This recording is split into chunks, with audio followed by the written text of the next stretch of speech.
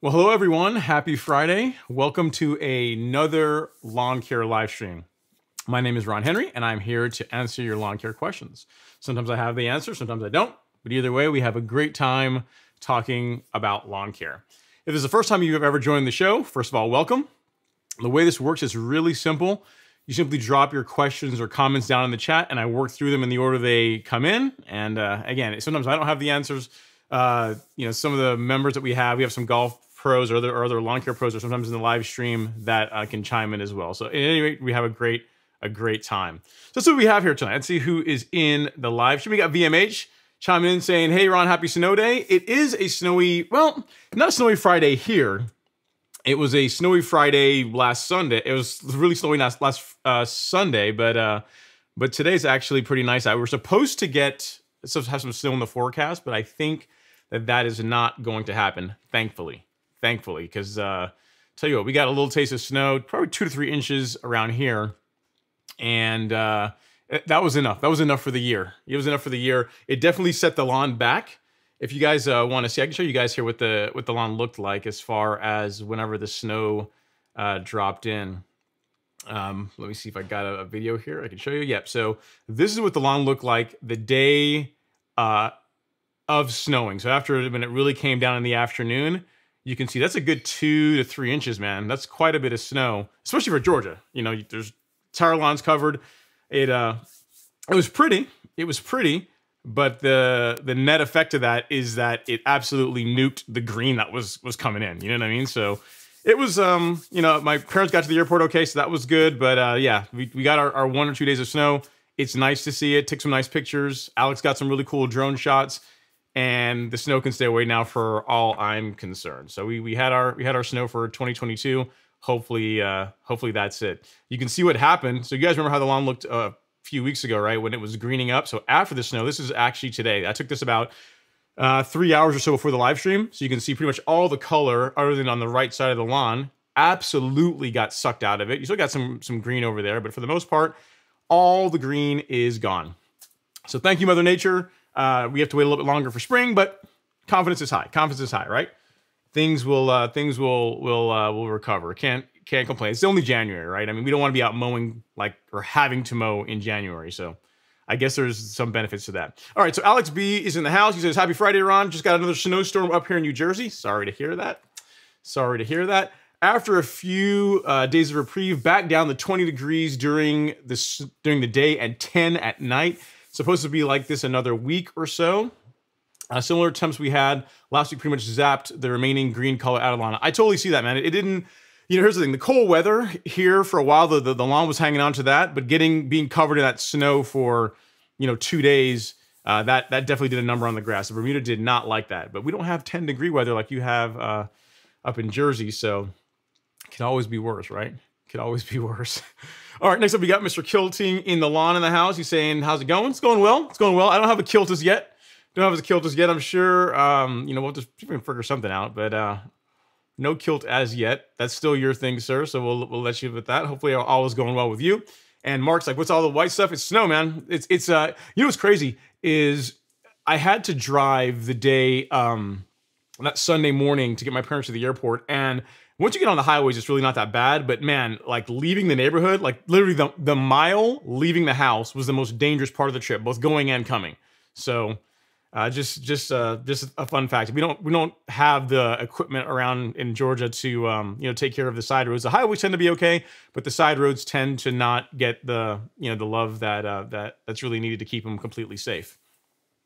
What's up, Dalvin? Dalvin Larry's in the house saying hopefully all is staying warm. Yeah, man. It's been uh it's been a cool it's been a very cool week. It's supposed to get even colder next week from what I understand. We're supposed to have some days in the 20s, which is not good. Not good. Not good at all. And uh, Tom's like more so than uh than Chicago. Uh maybe, maybe. I don't know. I haven't been to Chicago lately, but uh we got our two two to three inches in some spots, and that was that was plenty. Robert Rainey's in the house. So Robert, guys, so Robert saying good evening, good evening, Robert. Thanks for coming to hang out, sir. And Robert uh, got a reel mower. So as far as like the person that has honors of you know getting some new toys, getting ready for this season, look what Robert picked up today, man. Check this out. Look at this. This is now, guys. I don't I don't want you guys to see this and start spending a bunch of money, but just I mean, this is really nice piece of kit, kit that he got here. So if I'm not mistaken, I think he told me it's a John Deere 220E. It's like one of those hybrid units where, if I'm not mistaken, the the propulsion is done by the gas uh, by the gas engine primarily, and then the gas engine also provides power to the uh, to the motor, which powers the reel. So really, really nice unit. Uh, he said it was uh, clean. I think he got it uh, all set up today as well. Like they sharpened it up, freshened it up, and everything. And uh, that's a really, really good looking, really good looking mower, man. So congrats on that. Congrats on the new hardware. I know. I think you upgraded from a McLane, right? You had a McLane before, and you went to that, so it's, it's pretty. It's a pretty substantial upgrade. It's a pretty substantial upgrade. Uh, I think your lawn, once you get to put it on the lawn, your lawn will thank you for it. So it looks looks really really good. Then you got to send us pictures, man. Once you start mowing with it, you know what you should do? I'm not sure. Did you when you said you upgraded from the McLane? Did you get rid of the McLane, or do you still um, do you still do you still have two mowers? Because it'd be interesting to see if you have the same experience that I did, where if you're able to make a pass with the McLane and see how the lawn looks, and then make another, and then make a pass with the new, we'll just call it the new hotness. So with the McLane and then the new hotness, and see if you see notice a big difference. You are going to notice a huge difference, but it'd be cool to see a side to side. Plus, it'd be cool picture to, to send in and show everyone the difference between, you know, like a uh, it's a good reel mower, but a but a, a lower end um, powered reel mower and then a greens mower. Be, be nice to to show the fans that. So I don't know. Um, you may not have the mower anymore, but if you do, it'd be a cool picture. Congrats again, sir. I'm sure you're absolutely going to uh, to love it. All right, Kevin D. Jones is in the house. He said, "Hey, Ron and the lawn care crew, what's going on, Kevin? Hopefully you are doing well, sir. Thanks for coming to hang out in the show uh, as as always." As always, and then he's saying, "Tom, I'm uh, about an hour south and got zero snow." Yeah, it's funny, man. So it's funny, um, Kevin. So here's the thing: I, um, you know, I'm in the Gainesville area. Once you get, if you know where like Pleasant Hill Road is, like so going towards uh, Gwinnett, literally as I was coming back from the airport and the snow was really starting to come down, you could you could literally like within a space of like two miles, went from like no snow to like a bunch of like snow literally coming down where everyone was like slowing down to a crawl. So I'm not surprised that south of um, you know an hour south of here, so like by the by the airport, maybe a little bit south of the airport, didn't get very much snow. And if it did, it didn't stick. Whereas what came down absolutely stuck. It took it didn't melt until let me see, it came down um, came down Sunday, didn't melt until Tuesday. So there you go. So we got to enjoy it for a while. Got like I, like I said, got some really cool pictures. Uh, Alex got some good, really good, some really cool videos. So uh, always fun stuff. Fun stuff. All right, next up we got Michael Norton in the house. He says my essential G showed up today. You can smell it through the bag. Very cool. I'm glad to hear that everything made it in. Uh, great, uh, Michael. That's awesome. And you're right. Essential G does have a um, what does Alan call it? The smell of success. It does have that. But uh, yeah, I'm glad that your stuff made it in as as well. And you know that's a great segue into one of the talking points I have tonight. I got to see what questions we got, but as a as you guys get the questions rolling in, I can talk about um, the Golf Course Lawn Academy. So as you guys know, the the course was launched last year in March, um, and like the start of last season. And my big goal over the course of last year, some of the content that I filmed was to finish building out the course. So that's done. Like there's there's there's content in every single module. I'm going to add more in this season once we uh, once we start mowing. I've got some cool ideas that's going to go into that. But in, in addition to that, um, something I've done is for any members of the Golf Course Lawn Academy, if you are buying Mirimichi Green products in the Golf Course Lawn Store, which is what I, I use primarily on my lawn as far as improving soil quality, there's now a discount that's extended to you guys and gals that you know anytime you buy um, you know Mirimichi Green products in the store, I'm hoping to be able to expand it to other um, lines as well. But right now it's just Mirimichi Green. You guys get a discount. It's not a one-time discount. It's not like a um, you know if you buy one thing or you buy 50 things, you get the discount. So it's pretty good. It's it's uh, it's a right right now it's 10% off of everything that you um, that you order in the store that are 10% off of any Mirimichi green products in the store. So something that I've also done as a, as a way to sweeten the deal is make it um, you know make it easier for people that want to get into the academy um, and make it easier for them to do that is if you buy anything on the golf course lawn store right now, uh, you're going to see an upsell that's going to if you buy the academy at the store. So don't go to like golfcourselawn.com. Go to if you if you want to get it, go to the store to get the discount it'll take $45 off the price of the course. So given the fact that you know, you get the training, which is which is very awesome. You get the the calendar, also great. You get access to the private Facebook group, which is really one of the best things. Like I was asking the group for feedback, like what do they like about the course, and they said, listen, the group is like literally one of the best things. The material is awesome, but the the group of of of like minded people is really really cool. So you get access to that, and then now the, you have a way for it to literally pay for itself for you to save money. Where when you buy the stuff you're going to buy anyway, right?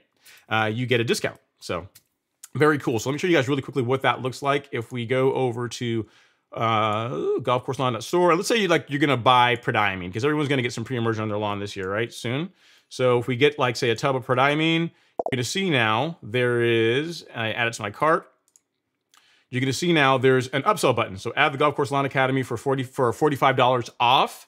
Um, so you add that to cart, and when you go to checkout, it knocks $45 off the price of off the course. So again, you you get you get a bit of a discount, a bit of a break that allows you to save money going forward on anything that you buy um, that, that that's that's done by Mirimichi Green that we sell from Mirimichi Green. So that includes the carbon kit, uh, essential G, the pest control, anything with Mirimichi Green made by Mirimichi Green, you're gonna be able to save money on. So something that you guys can take advantage of if you if you're so inclined. It's a way to again literally have the course pay for itself. So I'm always looking for ways to add more value. And that was the best thing I could think of. You know, what, what's better than than putting money back in your pocket, right? To where eventually, as you buy stuff over time, it basically becomes free. So very, very cool, man. So I'm glad your, your Essentials G showed up, um, Michael, and you also gave me a segue to be able to talk about the course, which is cool. And we will go on to the other questions and comments. We got uh, Lance F in the house saying, happy Friday, everyone. What's going on, Lance? Hopefully you are doing well. Kevin G giving me, uh, uh, Kevin, give me a hard time about um, free carbon and water bless Ron's lawn and leveled it. I mean, it was level before, man. Come on now. Come on now. I, didn't need the snow to level the lawn, but you know, the, a little extra water didn't hurt. Didn't hurt, you know, and it shut the grass down to where I'm not going to have to mow until maybe February. Maybe February. I'm already that crazy guy that was out mowing that was out mowing in uh, in Jan. So, uh, you know, if I have to wait a couple of weeks to put the mower back out on the lawn again, there you go. On the subject of mowers, guy, one thing um, I need to tell you guys is uh, if you guys have Toro Greensmasters, so I know you, I've been sending you guys to Jerry Pate and, and I've told you to ask for Joey. Joey is no longer with them, but there is another gentleman there, Bruce, who will take care of you guys. So, so you can still take your, your Greensmaster to Jerry Pate, no issue with that. But um, Joey's not the guy to ask for now. It's going to be Bruce. So just want to let you guys know that in case you call and you're like, hey, you can talk to Joey, and they're like, he's not here anymore. You're like, oh, what's going on? Ron told me to call here. So you guys have now the updated information as far as who to contact when you are uh, getting your mower serviced. Uh, yeah, Michael, that's fine. I know you. I know you guys feel in New York, but you guys can keep your snow. I am. Uh, I'm good. I'm good without it. I'm good without it. We got Pacific Northwest Lawns in the house saying good evening, everyone. Hope, says hopefully everyone's doing okay. So, guys, one question you guys also had last week, um, kind of the the the message or the note that um, Kevin just sent message about about leveling. You guys know last week we were talking to Supersod. They were on the uh, on the live stream and uh, they were talking about their i was talking about their, their product the, the discount you guys were able to get up until february 28th and one of the questions that we had to answer was what goes into supersod like what's in the soil 3 the soil cubed component. So i i've got the link up here so i can show you guys on the website yourself. You can go look it up. I'll put a link in the chat afterwards. But there's three things that make up the um the organic component of of the level mix. So it's it's uh, grass clippings. So it's three things grass clippings wheat straw from the I guess they have a sod farm uh, or they have a, they have a they have a farm but they also have a sod farm. So I believe it's zoysia too. So grass clippings from their sod farm wheat straw from their farm and then finally cow manure from a local dairy. And they add some mycorrhiza as well to to give it a kicker to kind of improve the microbial activity. So that is why the product works so well. Like literally if you guys uh, were following the content if you guys are watching my top dressing uh, videos from last year and the results that I got it was really it was it's really really good stuff. And just the, the, way the lawn recovered i was mowing let me think i was mowing five days after top dressing. So i top dressed over the weekend and by thursday i was back out mowing the lawn. So really really great stuff. Um, and, and that's one of my notes that i had to be able to tell you guys like what the what the makeup is what like uh, what the organic component in uh, the soil cubed is. So now you know man of my words All right. Uh, so Alex B says, you know, the snow's put me off from jumping into the battery revolution. I bought a Toro single stage battery snowblower. My neighbor has a two stage one. Neither are anywhere near my uh, my Ariens gas blower performance. So I don't. So here's you um, you know, forgive my ignorance here, Alex, but I'm not sure what a single stage and a two stage uh, snowblower is from a battery power from electrical equipment standpoint. Is it like two speeds or what is what is the uh, the multiple stages for? I guess the only thing that I would um, that I would be concerned about, especially with electrical equipment or electric powered tools in um, cold weather, is batteries tend to be less efficient. They tend to work less less good in cold in uh, colder weather. So you never know. I mean, it might be cool to see. Um, you know, I mean, it's, it's electric snow a snowblower, but be. I mean, I wouldn't necessarily use like the cold weather performance as a measure of how um, you know how electrical equipment can perform. A lot. There's a lot of people around here that have the um uh, they have electric electric everything. They have the electric blowers, the ones stuff you get at Home Depot, and they absolutely love them. They absolutely love them. You know what I mean? Alex has got quite a bit of electrical as well. Um, he's also got the Stihl combi system, but he's also got an electrical setup as well for uh, for lawn care tools that he he seems to like. So so yeah, not my thing. You know, I for me the thing for me is that I have um if, if everything could go electric right? To where like my mower electric and the string trimmer and blower and everything else could be electric, I think it'd be worth it. But because I still got to get gas for the mower anyway, it's not like that big a deal to go out and still have to get fuel for the combi system as well. You know what I mean? So I think it's one of those things. If you you really see the benefits, if you are like all in, but if you're just if you're halfway, half and half, it's just more work. Now I got something else I got to keep up with, right? Batteries and all this kind of stuff. So. I hear you. Elect- uh, gas power, there is something to be said for it, at least for now. You know, le- eventually electric will pass us, but right now, uh, gas is still is still the way to go, in my opinion. In my opinion. All right, we got David Polanco in the house. What's going on, David? Hopefully you're doing doing well. Long time no see. I haven't seen you live stream for a while. I'm not sure if you were here last week, but if so, I missed you. So welcome back. And we got Travis Winston in the house saying, Happy Friday, Ron and Golf Course Lawn Squad. Come on, springtime. I'm ready to mow. You and me both, man. You and me both. Um, my thing to do this weekend, just so I can scratch an itch to get out and do something on the lawn, is to get my uh, my soil test done. I'm about two weeks behind of where I need to be of when I would normally do it, but I want to get my uh, my soil test in now, which will count as my winter one, and I'll get one in um, in early spring as well. Just to, I've been doing I've been spacing them out every three months just so I have the data and no reason to stop now, right? So I got a bunch of soil test kits, might as well use them. But yeah, I'm, I'm ready. I'm actually ready to start mowing, man. I really, I, the the one mow that I had in January a couple of weeks ago, I really enjoyed it so much so that I double cut the lawn, and uh, the snow really put a damper on that. You know, the lawn really doesn't really doesn't need it now, uh, based on uh, all the cold the cold weather we're uh, we're getting.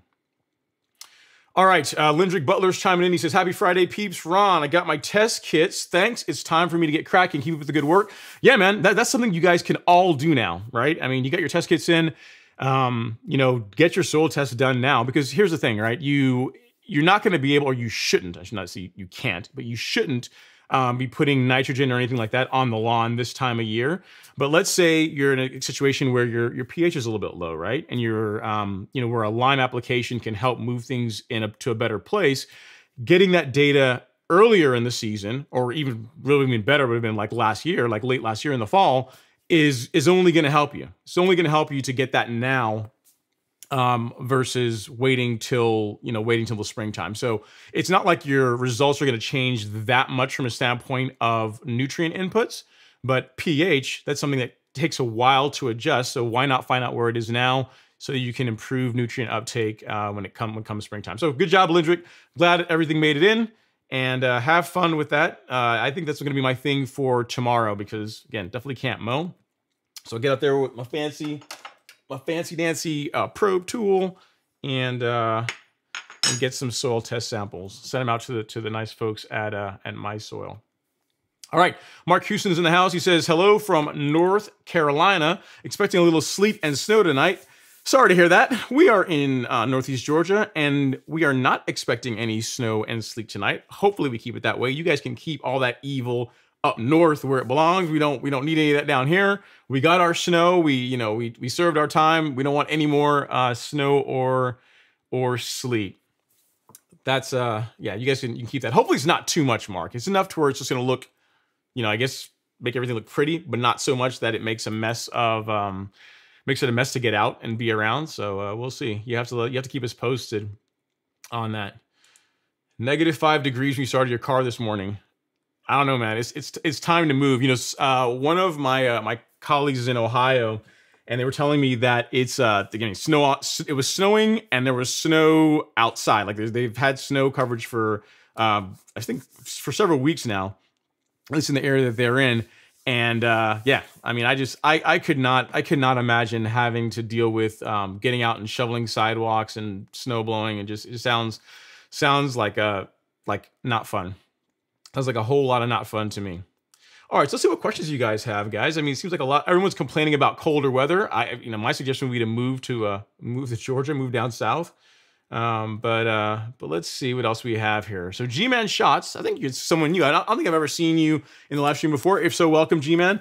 Says we just came from the mountains in North Carolina, got eight to twelve inches of of snow, and the snow drifts were up to eighteen inches. Wow, yeah, that's um that's a bit much. I mean, I can I cannot imagine what 18 inches of snow would do to the Atlanta area. Like we would, you know, it would it would not be would not be good. It would not be good. All right, so now we have our first question around top dressing. First, like uh, lawn care related question of the eating. We've been goofing off for the last 20 minutes, just talking about snow and cold weather and how much we hate it. Justin Cherapy, Cherapy, I think I'm saying it right. Justin Cherapy. Ooh, looks like you did. You fly model airplanes. I'm, dude. I I apologize. I'm like a, I'm like a squirrel, right? I always look at people's avatars, and it looks like you got looks like an RC plane. I think. I think it's a, I think it's a real plane. If it's an RC plane, looks cool, man. I used to fly model helicopters back in the day, but yeah. Anyway, to your question, you don't care about that. Says, yo, Ron, if I top dress my, my Bermuda in May, should I reapply pre-emergent or will it hamper the growth? I've never done that.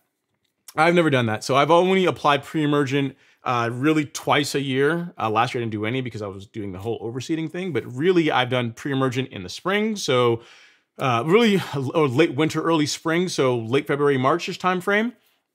And then again in the fall, Septemberish, late September is when that happens. I've never done it again after uh, after top dressing, after aeration. Yes, technically, if you are um, aerating your lawn as part of top dressing, like if you if you're top dressing your lawn the way that I recommend you do it, which means entails mowing the lawn short, aerating it, uh, and then uh, adding your carbon soil amendments, essential G, or whatever happen to be using, and then your fertilizer, and then top dressing. Yes, you are technically breaking or, or punching voids in the vapor barrier that really allows uh, pre-emergent to work its best.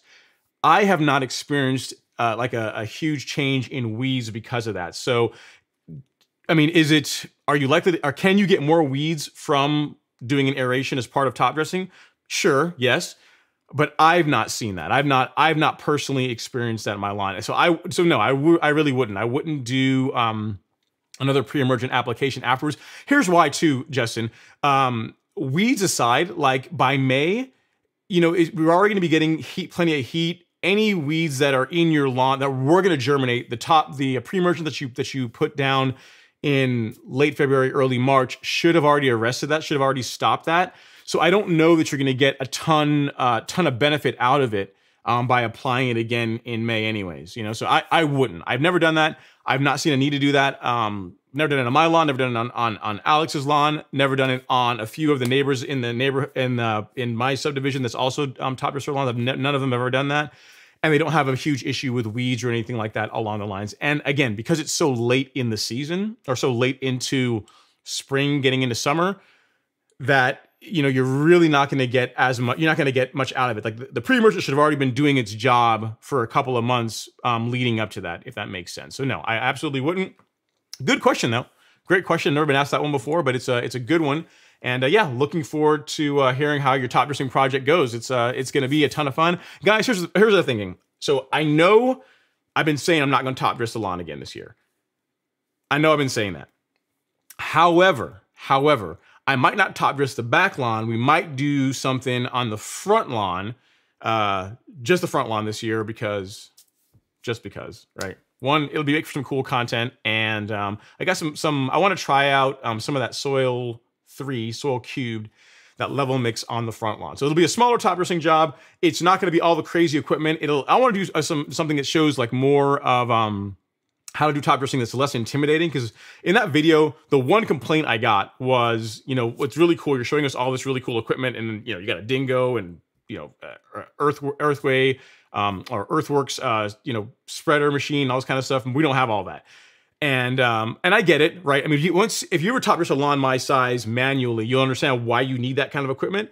But for a smaller area, like you know, some of you guys might have, like the front lawn, uh, which is 1500-ish 1700-ish square feet somewhere in there um you know doing that manually is um, something you can take on so i want to i want to do some content on that uh, show you guys the one doing top dressing a slope again and th but this time we'll be using the soil cubed uh, compost. This should make some, some fun content. Hopefully you guys will get something out of it. Now guys, here's the thing. I'm gonna take some of my lemonade and if you guys wouldn't mind, I know we're only 25 minutes in. We've had up to, you know, I don't know, 70 something people or so in the live stream. If you guys wouldn't mind touching that like button for me, ever so gently. I mean, it's not to cost you guys anything. It's a free way to support the channel. And, uh, you know, it sends good vibes to the algorithm, gets more people coming this way. And it gives me a second to uh, have a sip of my lemonade while I wait for you guys to do that. And I can find the next comment.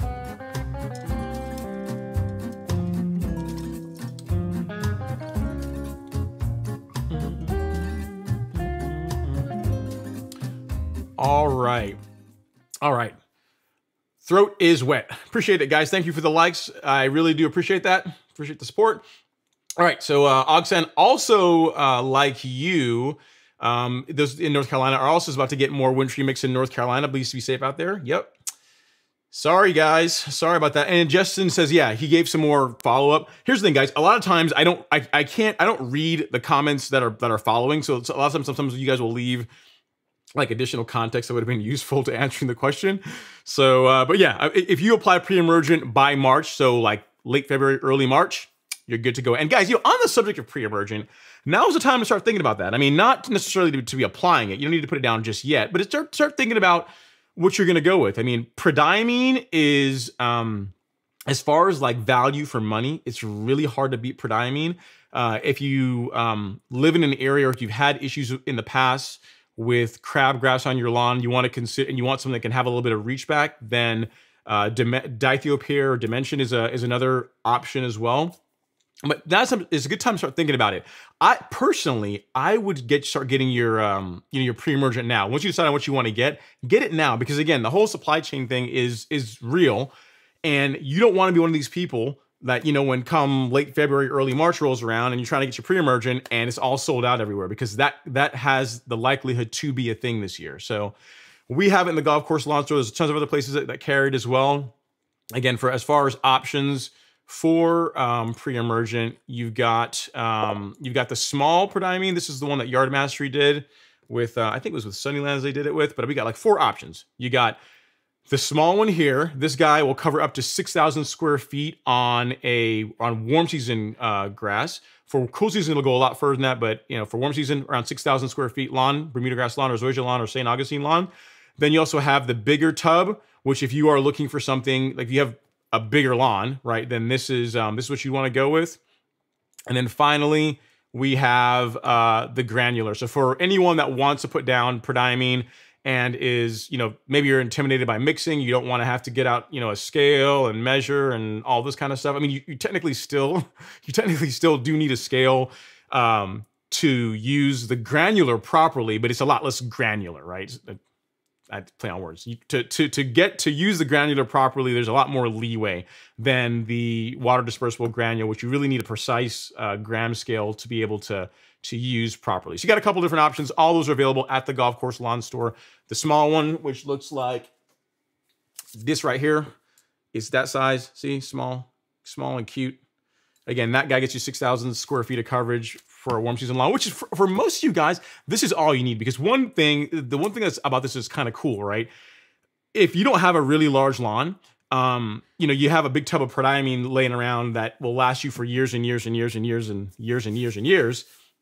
So it's nice to have something that, you know, for the most part, you're going to use in a season and you're done with. You don't have to you have to keep it around, right? Now this is a little bit more expensive per application, obviously, than the than the larger value size, but just something to consider if you have you know twenty one dollars and you can take care of weeds in your lawn over the spring and summer. So And we've got content on the channel showing you how to use it. I've got a video, if you go to like youtube.com and search for Ron Henry pre-emergent, I've got a video that shows how to um, how to mix it, how all the kind of tips and tricks, how to apply it, all that fun jazz. So, and also in the video of the store, if you actually go here to make it easy for you guys, let me show you back, let me show you that. So we come back to like here, I want to say, see, in the in the description, I got you guys covered in the description, there's also a link to the YouTube video as well. So while you're there shopping, just scroll down to the bottom. I've got a video that will show you guys everything you need to do to get a great result. So get your pre-emergent uh, now. Doesn't go bad. Have it all set aside so you're good to go. And uh, thanks so much for that. All right, so good good job, uh, Justin. Looks like we got a super chat in the live stream. We got a super chat in the live stream. Let's get down here and go get that from Mr. LG. What's going on, LG? Hope you hope you're doing well, sir. Super chat received. So that's my jam. Play that funky belly dancing music one more time. Actually, I will do that while I add you as the show sponsor for tonight because you are the first super chat of the evening, and therefore you are the show the show sponsor. Happy to oblige. Let me get you added up here. Make a change here real quick and add LG as the show sponsor. There you go. I appreciate it, sir. Thank you for the support every little bit helps. I thank you. Thanks, thanks so much. And again, I'm sure as we go throughout the show tonight, I'll have many chances again to play the belly dancing music. I think it's technically when I looked it up, it's it's some kind of tango something is the name of the song. But um, but yeah, there you go. That's what we are rolling with tonight. But yeah, um, Justin, uh, you should you should be good to uh to don't put pre-emergent down after top dressing. There's really, really no need to do it. So Tommy Bennett's in the house. He says, I love my uh, JD220. Congrats, man. So it's good. It's good to find out, um, you know, what, to, to see there's other people that also have JDs as well. So I guess in the chat, for those of you that have um, just like a quick poll. So if you have Toro, you can either type Toro or type T, and if you have a John Deere Greensmore, you can type J or JD, whatever you want to do. I mean, I'm, I'm trying to make it easy for you guys, but just be interesting to find out, like among like the home lawn care community, what percentage of people are really into or like, uh, like you know what are we more Toro um, group in general or are we more um, John Deere? So you know I, I see more Toro than I do JD, but um, you know, they've got two people already now talking about one. And I think, I believe LG has a Toro Greensmaster as well. So that's at least two of us.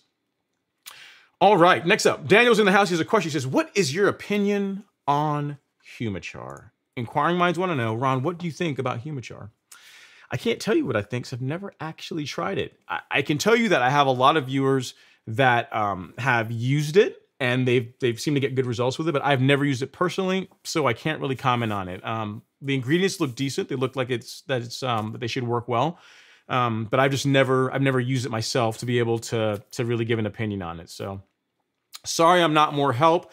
Um, I am a fan of the Mirimichi Green products. You know, I use Essential G, which is which is uh, uh, similar to or very similar to um, to Humichar. It has a bit more going for it in the sense that, um, from my understanding, Humichar is biochar, and compost.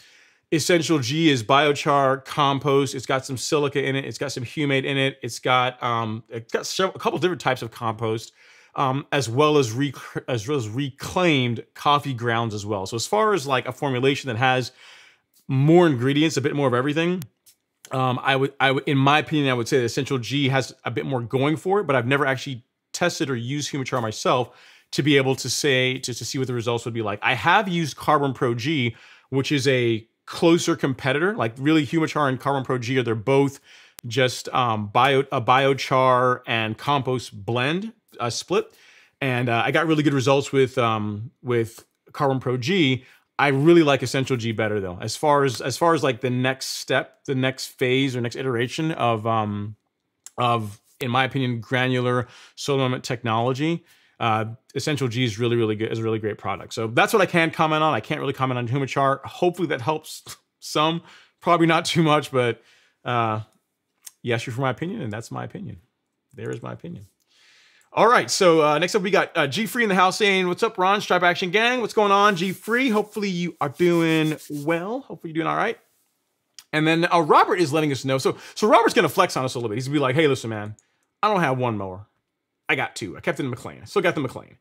He says, so I still have the McLane, debating on selling or converting it to the scalping duties. Um, here, if you want to, here's what you can do, right? Like you're going to be able to sell the McLane. You're going to find some, you'll find a buyer for it. If it were me, like you've already, from what I understand, I think in your email you told me that the John Deere you had it, uh, you had a fresh grind put on it, so it's all sharp, ready to go, ready to just, just lay some some mean stripe action. You don't want to take that mower that you just spent all that money on and just got it freshened up, and then you know drop it down and scalp and maybe get into the dirt with it, and you know just just just put a lot of wear and tear on it. So at a minimum, I would keep the McLane for that. I would keep the McLane to do scalping and just to just to compare. Do a small comparison, like cut, you know, half your lawn one time with the McLane and half of your lawn with the John Deere just to see. Take a picture of it, send it to us. So we can show everybody. And then if you want to sell it, you know, maybe you know, take the McLane and then get it freshened up. And then you'll you'll be able you'll you'll be able to sell it really quickly. It will not last on the market, you know, especially if you get it freshened up uh, after you scalp with it. Um, you know, having a mower that's ready to go is is a big deal for people that are trying to get into reel mowing. So uh, so yeah, if it were me, if it were me, and your budget permits you to hang on to both of them for a while, uh, another two months, three months. Say, say you waited until May to sell it. May's like a good time. Um, you know that your grass should be growing well. That's what I would do. I would just, just do the comparison because it's it's it'd be nice to have the video to have the pictures just to be able to say, hey, this is where I was, this is where I am now, and then you can turn around and flip the McLane if you want to. It, I, here's the thing: if you can afford to keep both of them, I might just keep both because I got to tell you, it it would pain me. It would pain me. You want to see a grown man cry? It would pain me to drop the Greensmaster down to I don't know, man, a, a, a, good scalp 0.3. I mean, that's not even getting in the dirt, but just getting it down really low and just having and just and just putting that kind of wear and tear on it, just beating it up like that. I just it would it would hurt. It would hurt. You know, the Tru Cut, Tru Cut's a tank. Tru Cut's the is like infantry. You know what I mean? I mean, the, the Tru Cut's like infantry, and the the Greensmaster like Air Force. Although it's like it's like Air Force that's you know that, that does a really good job. So, if you guys in the armed forces, don't give me crap. I didn't serve, so I really can't talk about anybody. But as far as like you know, the as far as the the, the Tru Cut just being able to take a ton of abuse and just take a you know and just for scalping work, it's a better machine suited for that. Uh, that's why I would I keep it. So um so yeah, up to you. I wouldn't be in a, in a hurry to, to let to let go of it. At least not till like May time. So hopefully that helps uh, with your decision making process. All right. Heartfelt Fashion is in the house. She says, So I'm going to get the Super Sod lawn leveling deal with your discount. You said we can order now and get it shipped later. Yes. So here's the thing they are trying to get the orders. The, the, here's the thing the whole reason behind why they're offering the discount so early in the year is because last year, when Aprilish and May's time ro rolled around, like they were slammed. They couldn't get drivers. They didn't have. They just literally didn't have the capacity to deliver as much as everyone was ordering. So they're this year what they're trying to do is allow people to order a little bit earlier. We get they're get, uh, supplying a discount. So in this case, thirty dollars off, which is a pretty good discount. Um, and then the, I, ideally they want the to deliver it within two weeks, right? You might be able to ask them to push it out a little bit, but really two within two weeks of, of, of ordering is when they are are wanting to get the deliveries the deliveries done. So the deal is supposed to last until February 28th, the end of February. So if you can mark your calendar, um, if you want to wait a little bit longer, you can do that. I mean, it's it's it's up to you. It's not like they have a problem with product or, or having enough of the product. It's the delivery that's the challenge, right? So, um, so yeah, you can you can get it now. If you got a place to put it now, great because again, the bags aren't going to get the, the product's not going to get wet or ruined or anything like that for being out out in uh, in the elements. I think I've got, I can show you exactly what it looks like heartfelt. So you can see there, it's like you have the big yellow bag and then you've got, it's tied off really well with this green bag that everything's um, is in. It's like a tarpaulin material, type material. So as far as it staying dry, there's no issue with that. It's just a matter of if you have a place to put it um, for, you know, really a couple of months while you wait, while you wait to do your top dressing work. So, you know, worst case, you can wait till the end of February or closer to mid-February to, to get your order in. But, uh, but yeah. And for those of you guys that don't know what I'm talking about, they're like, everyone's that are in the live stream, they're like saying, discount? What? Discount on top dressing mix? What, like, tell us more. Tell me more. So last week, Super Sod, um, they were on the show. If you guys didn't see last week's live stream, check it out. They were in here having a great time and, and answering tons of questions. They're offering a discount, a $30 discount for the really for the level mix. Or if you just want this a straight soil three compost, you can get that as well too. But I would recommend the level mix if you're trying to do top dressing. I would not go with just the compost for uh, for your top dressing work. The way to take advantage of that discount is to use my link right here. So this one um, that I'm putting in the chat now, Soil three Leveling Mix. It's ron-henry.com forward slash top dressing. That will uh, save you thirty dollars on on the um, on the cost of the level mix. And remember, those prices that you see on their website is delivered, so there's no delivery fee on top of that. That's that's all in. That's the material delivered to your door. So very cool stuff. It's a great product. I had awesome awesome results with it last year. So just something to keep in mind. But yeah, heartfelt. I mean, go ahead. I mean, if you got a place to put it, I would get it. Get your order done. Um, I am going to be reaching out to them here probably the end of the month.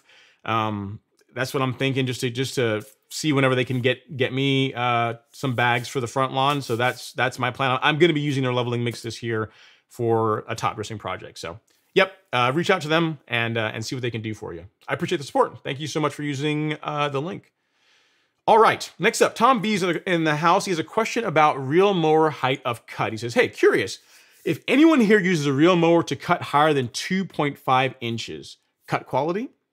Worried if I start cutting lower, I would run into other issues, especially without in-ground irrigation. Thoughts? Okay, so reel mowers really do perform best, Tom, um, at lower cutting heights. Some of the manual ones, like the Fiskars or um, I don't even know if the Scotts will go up that high. The, I mean, two and a half inches is pretty high for a reel mower.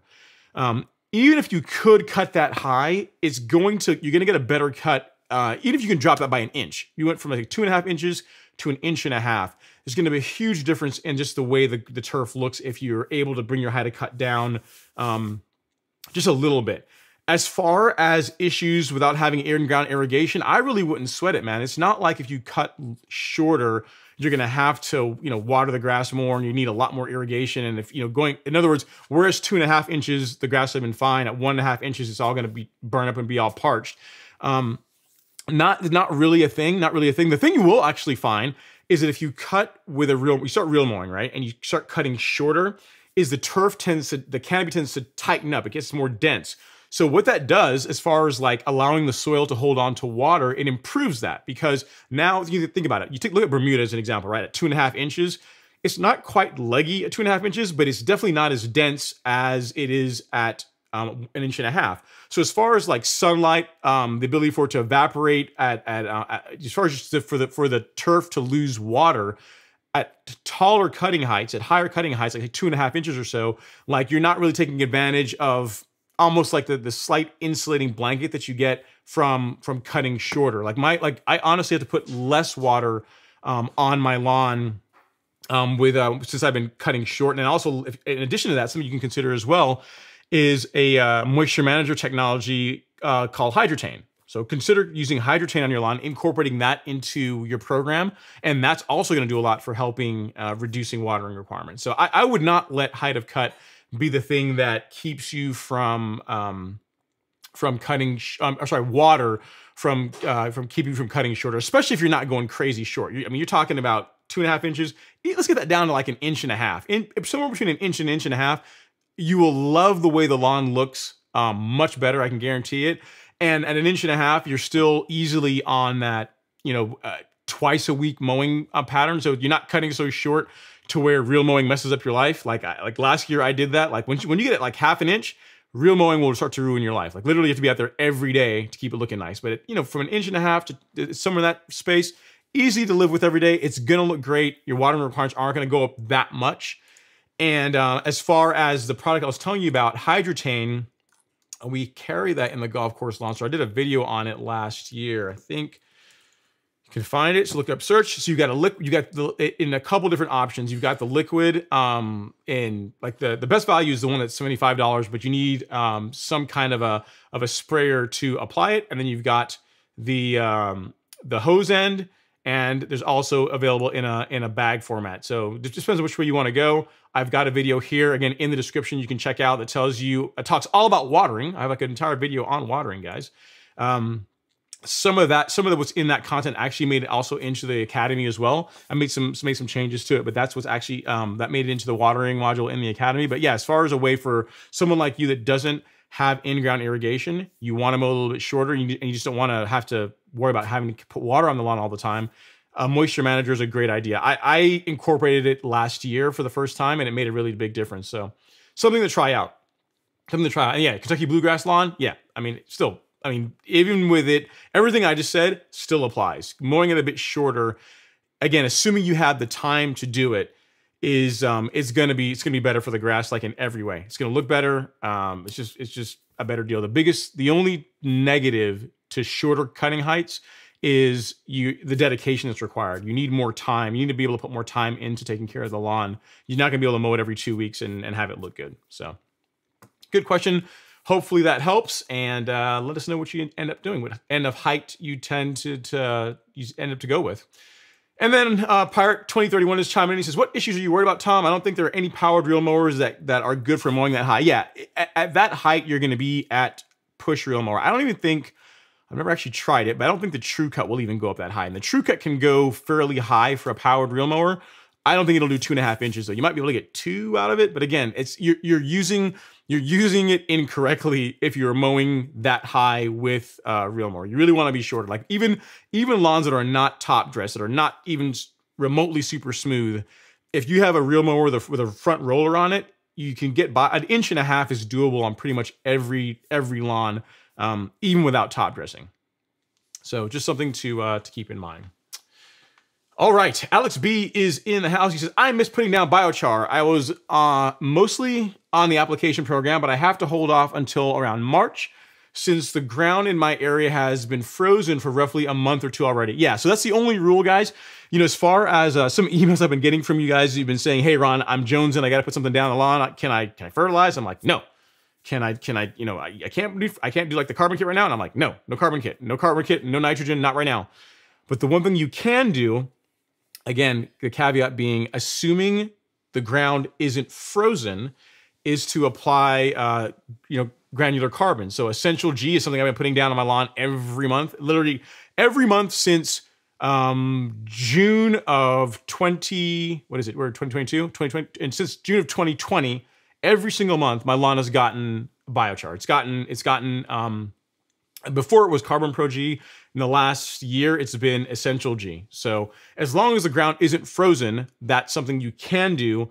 Uh, there's only benefits to doing it, um, but um, yeah, if it's frozen, I, I, wouldn't do that. You wouldn't, you shouldn't apply really anything to your lawn uh, when it's when it's frozen. So, so there you go. There you go, Alex. It'll be it'll warm up here soon enough, man. Don't you worry. Let not your heart be trouble. It'll come back soon. We got a couple of super chats down here. Let me run down here and grab those. We got one first from Lance F. I appreciate it, Lance. Super chat. Thank you so much for the support, sir. I really do appreciate that. Thank you for the super chat. And then next up, we got Mr. Josh Habib in the house. What's going on, Josh? Thanks for coming to hang out in the live stream Super tonight. Received. Uh, he says, "Go Bills!" Yeah, man. So here's the thing: I am a Bills fan. They put they put it on. Um, who do they play? Who do they play? Uh, I know they played in Buffalo, but who who did they play? I forgot who they beat. Was it was it um, Pittsburgh?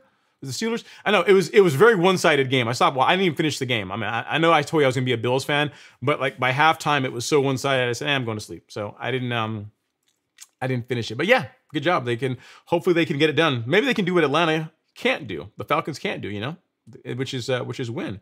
Oh, actually, while I'm while I'm down here, I saw that. uh saw that Premier Lawns is in the house. What's going on, man? Thanks for coming to hang out in the live stream. So, if you, for, for those of you that don't know, Premier Lawns uh, he runs a YouTube channel in the UK, puts out a lot of really, really good content. So any of you guys that are in the UK, check him out. But also if you're looking for ways of producing a great lawn um, using a lot of means that like the old school, a lot of the old school ways of doing it are in areas where you just don't have access to a lot of the chemicals that we do here in the States. Uh, you know, check out uh, check out Robbie's um, his his content. A lot of it is it's really really good stuff, and it's a great way for those of you that want to take more of an organic approach, you know, uh, to producing a great lawn. Uh, him, uh, Garden, I forget the guy, for his name. It's I think his name is Mark, but Garden Lawn Care or something like that. Um, also has some really good content. But yeah, thanks for coming hang out, Robbie. Appreciate you. It's got to be late in the UK, so I super appreciate you coming to hang out in the uh, the live stream. Thanks for the support. Hopefully, all is going well with you. All right, next up, we got Fairway Bermuda, the new YouTube channel that just launched from Mr. Daryl Tunstall, where he says, Hey, what's up, Ron and Lawn Team? It's cold. It is cold, man. It is cold. You saw what you saw what it did. You, you see how you see how the cold weather did me, right? You saw how what it did. I'm not sure how long you've been in here, um, uh, Fairway Bermuda, but it did me wrong, man. I mean, I, I was I was like, you know, about to. I, I was here's the thing, guys. I was thinking about like you know breaking the backpack spray out here in a few weeks if it kept that that warming trend, but no, that snow. This turned my lawn back into that. That's the lawn today. So Mother Nature did me wrong, man. But uh, such is such is life. Such is life. All right, so this is another good question to hear about mowing. Lance F asked the question: How often should you backlap your mower? So here's the thing, Lance. I never actually backlap my mowers. I don't. So what I what I tend to do is um, I I'm very I am religious about making sure I don't run over anything other than grass. So if I see like a like anything, if I see a twig, anything in the lawn, I will stop the mower and pick it up. So I don't, if you only cut grass with the mower, right? If you only cut grass with the mower, you keep it out of the dirt, you don't scalp with it, anything like that. Especially if you're using a greens mower, uh, you know they, they tend to hold their edge fairly well. What I do is, um, you know, every couple of weeks, I will uh, again depending on how much I've been mowing. I will go out and I'll do the paper test. I'll check it, see, make sure it's still cutting paper all, all across. As I get more into the summer, I do it more frequently. But initially, when I start off the season, it'll be once every every week, every couple of weeks. I'll, I'll go out there and just check and make sure it's still cutting paper. And if it's not, I will make an adjustment. I'll you know I'll go in on the bed bar adjustment screws, uh, a click, and if it starts cutting paper, good to go. Back, life is good. Let's start mowing again. If I um if when whenever I go in on the bed bar adjustment screws, and I begin, I'm feeling the resistance. I can tell that, hey, I'm starting to get, I'm starting to get some contact between the reel and bed knife and it's still not cutting paper. That's when I just take the mower in and just have it, have the, the reel and bed knife freshened up. I don't, I don't backlap it. I just, that's what I do. Um, so, you know, I, talking to, uh, to Joey at, at, um, at Jerry Pate, he's of the, he's of the same opinion. I asked him, he says, yeah, something, if you want to go out and invest in a kit and you want to do it, yes, it can preserve, it can uh, freshen up the edge a little bit. Um, really, what it's really good for doing is if there's any burrs uh, that you that you that you've picked up on the uh, reel or bed knife, it's good for helping to remove those. But really, the same thing I'm telling you is what he told me. The best thing you can do is only cut grass with your mower. If you if you are very religious, don't run over pine cones or anything like that, just cut grass with it. And that's all you really you really shouldn't have to do a bunch of backlapping, especially for the way we use them, right? Golf courses uh, might do that because they, they run these machines way harder than we do. But for the average homeowner, if you get a good sharpen at the beginning of the season, you don't mow anything but grass with it. You know, a, a good sharpen really should last you a season. You really shouldn't have to go in um, halfway through the season. The only reason why I did it last year is because I got into some sand. So I um, I did not raise the height of cut up enough. I thought, eh, you know, maybe you know a tenth will be enough. It wasn't and I got into a little bit of sand. And if you run over sand in your uh, with a with a mower with a reel mower, it doesn't take very much. You can make literally just a couple of passes where you're getting into sand, and it will dull it. You, then you're then you're going in for a sharpening. But as far as um, you know, backlapping it, not something I've really had to do um, on on any of my mowers. I think I did it once with the Tru Cut. It was also a pain in the neck to do, so I just I just if it, when it stops cutting paper, I just take it in and get it sharpened. So hopefully that helps. Great, great question. All right, next up, Tommy Bennett is in the house. He says, "What's your thoughts on rolling the yard when the season kicks kicks off?" Lots of differences of opinions there. Okay, so I will give you my thoughts on the on the matter, Tommy. I am not a fan of doing it. I've done it one time, one time. Um, did it make a difference as far as smoothing things out a bit? Yes, it did. I mean, as far as like the lawn, you could tell it was a little bit smoother.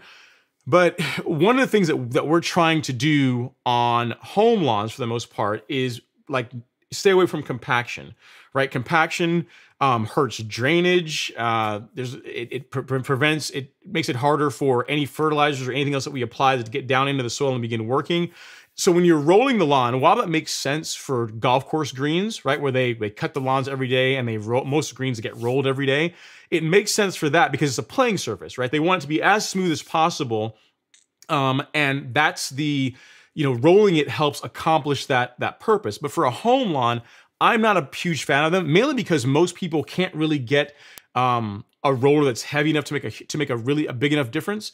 Um, and it's just again, you're introducing compaction. You're introducing compaction. Now, if you have like a like a pitch that you're maybe playing um, like horseshoes on, or you're playing lawn pool, and you want the lawn to be a bit firmer, maybe in that case. But as a matter of practice to do like all the time, I'm just not a fan of it. And it to me, you're working against yourself, right? Again, golf courses can get away with it because they aerate regularly. Um, the mission or what or what the the green is designed to do requires that. But for most of us are doing on our home lawns, it's just an unnecessary step that, in many ways, in my opinion, uh, it there's more negatives, there's more downsides to it than upsides. So That's my opinion. I, I totally get what you're saying as far as there being differing opinions on the matter, but I did I did it once. It did make a difference, but it's not something that I would do regularly. Kind of like verticutting. I did verticutting once. It did thin out the lawn a bit. Not something that I um I do a lot. Now here's the thing: if you ask Robbie, who's in the chat, he will probably disagree with me on verticutting. I think in the UK, that's one thing they do very often. They like monthly, they'll get out there and they'll be verticutting as a way to keep the lawns healthy.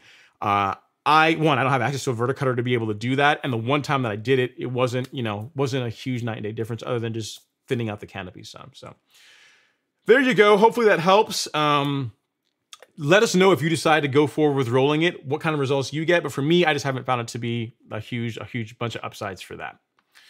All right, uh, let me get up. I got to speed up. We got some more questions. Got a bunch of questions in here, and I'm going too slow. All right.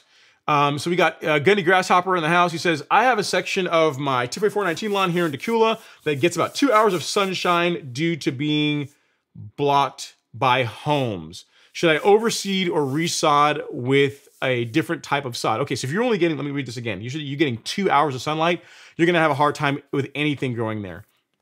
Um, because here's the thing, Gunny, right? The general rule is if the existing grass isn't growing now, like replacing it with a different grass type, a good example, so you have Bermuda right now, right? Which two hours of sunlight is not to get it done. Even if you, if the Bermuda is like super thin to where it's pretty much just dirt and just bare, like if you put zoysia in there, it's still not going to do very well. You know what I mean? Two hours of sunlight just really, really isn't enough for grass to thrive. It just isn't. And I guess you said it's due it's being blocked by homes. I don't know, man. Uh, I mean, you could try Zoysia if you wanted to, but I mean, if, if you're if you're sure that all you're getting is two hours of sunlight, I would hate for you to go out and spend a bunch of money uh, putting sod down only to you know to have it die or just not not do well. Overseeding or seeding at all would not. That's that's not that's a no go. I would not I would not try that. You just don't have enough. You just don't have enough energy. You don't have enough sunlight to really really allow it to take off and do well. You know what I mean? So you know, if I had a picture of it to see what you're talking about, if it's a really like I've seen some some subdivisions where if the houses are closer together, like the area between the houses doesn't get much sunlight.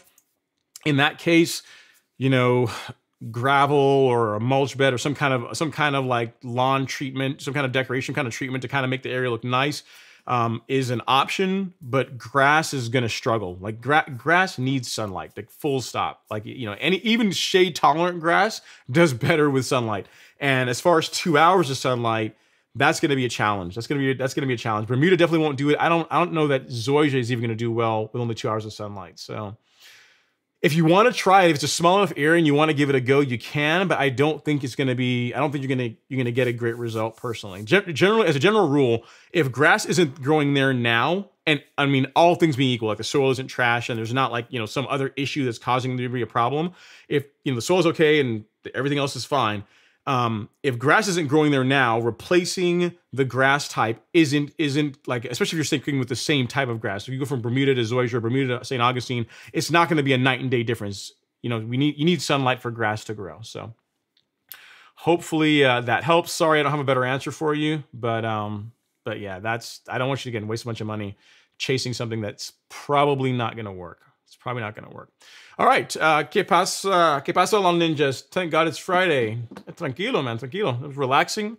About it's about to be the top of the hour, so I can have a sip of my uh, my lemonade in my official li uh, live stream cup, uh, courtesy of Mr. Josh Habib. I get to play some music while I take a sip here, and beg you guys for some more likes. Uh, but yeah, all is good, man. It's a little bit cold outside, but it's not snowing, so that's good. All right, next up. Ludwig Butler is here. Says, "Hey Ron, I thanks Ron. I'm very interested in the Lawn Academy. I will sign up this week. I hope it's idiot proof. I could jack,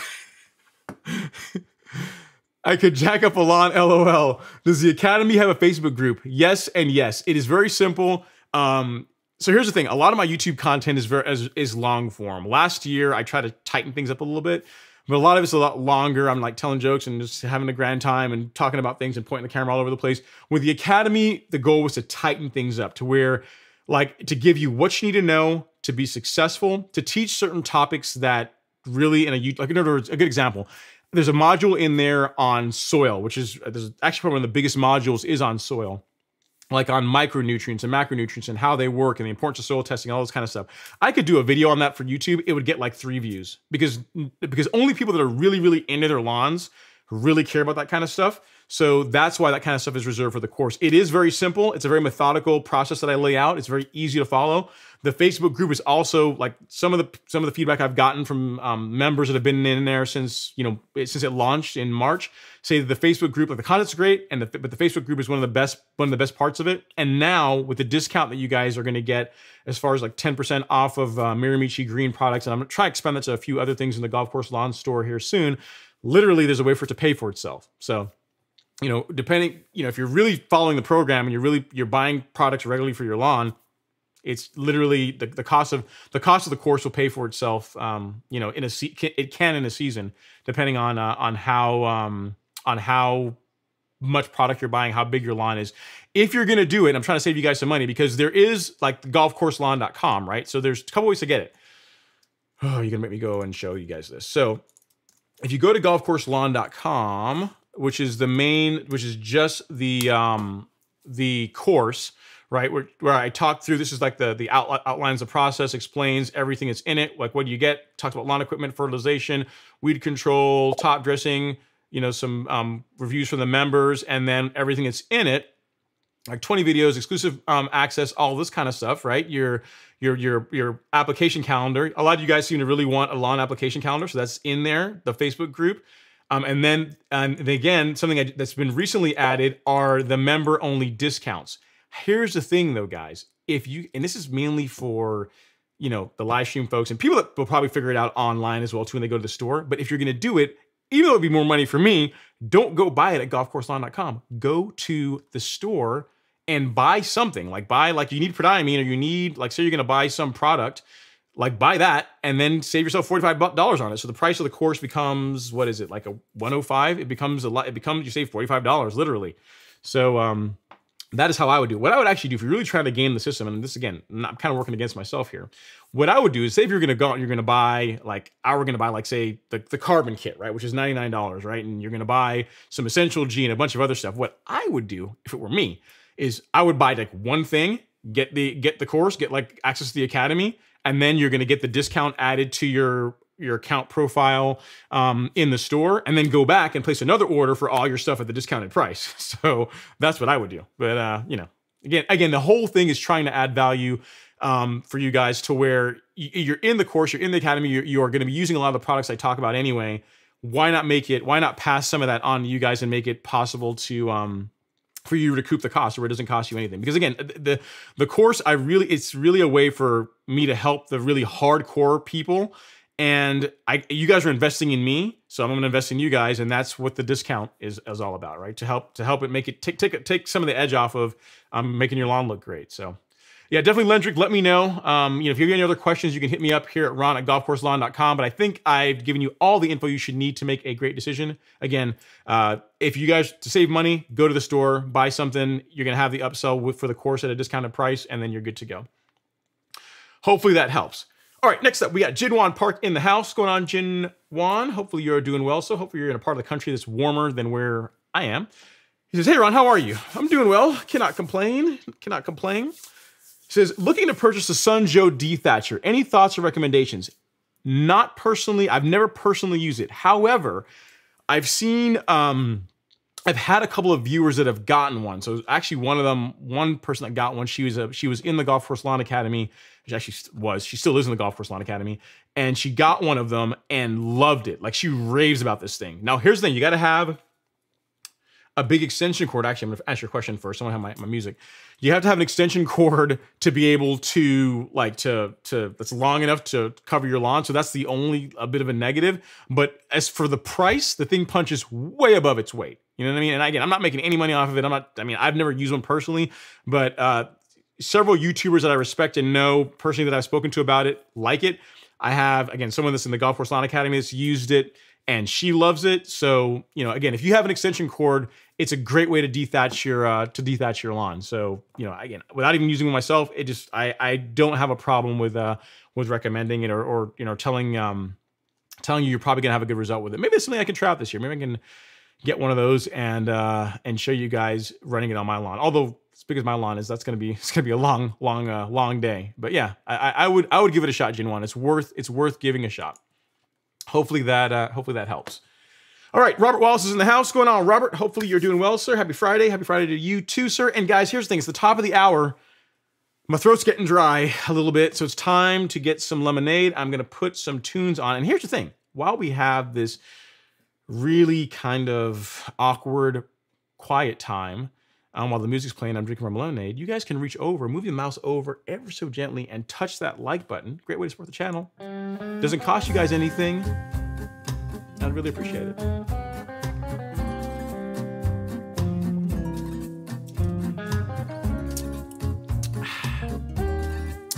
Num num.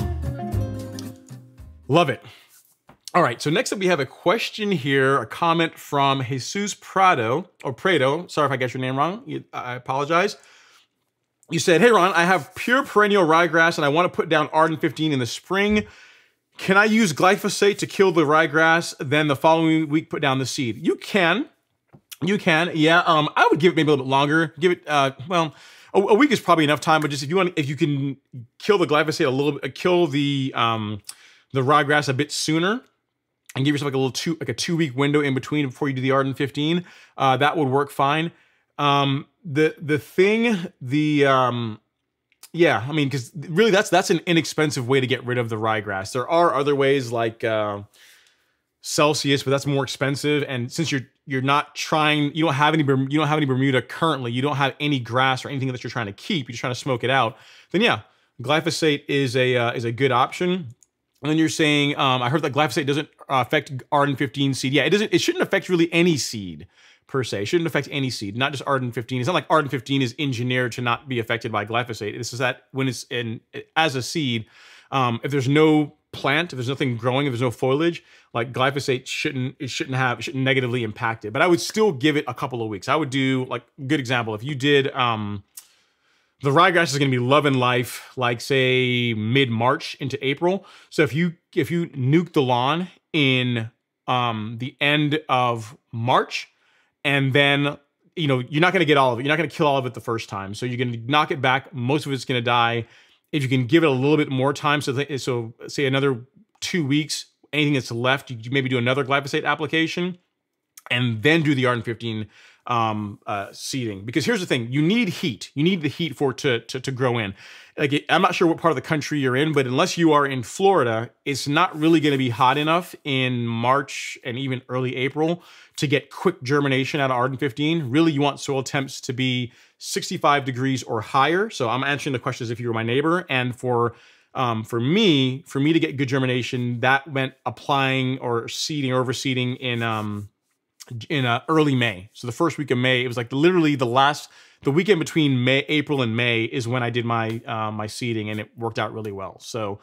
Uh, so yeah, that's what I would do. Glyphosate is an inexpensive way to do it space it out and uh and you know again if you're going to get rid of the ryegrass in um you know late march early april and then do the arden 15 once it has a time to grow in that would be that would be ideal the only negative is is your lawn's going to look like absolute hades while while you're waiting for temps to get a little bit higher right so you can have like a dead lawn so that's something to keep in mind you know i don't know if you have wife or girlfriend or whatever to explain to them that that's part of the process if you're for what you're trying to do so that's the only that's the only negative to what i'm i'm um I'm suggesting. But yeah, hopefully that helps. Hopefully that helps.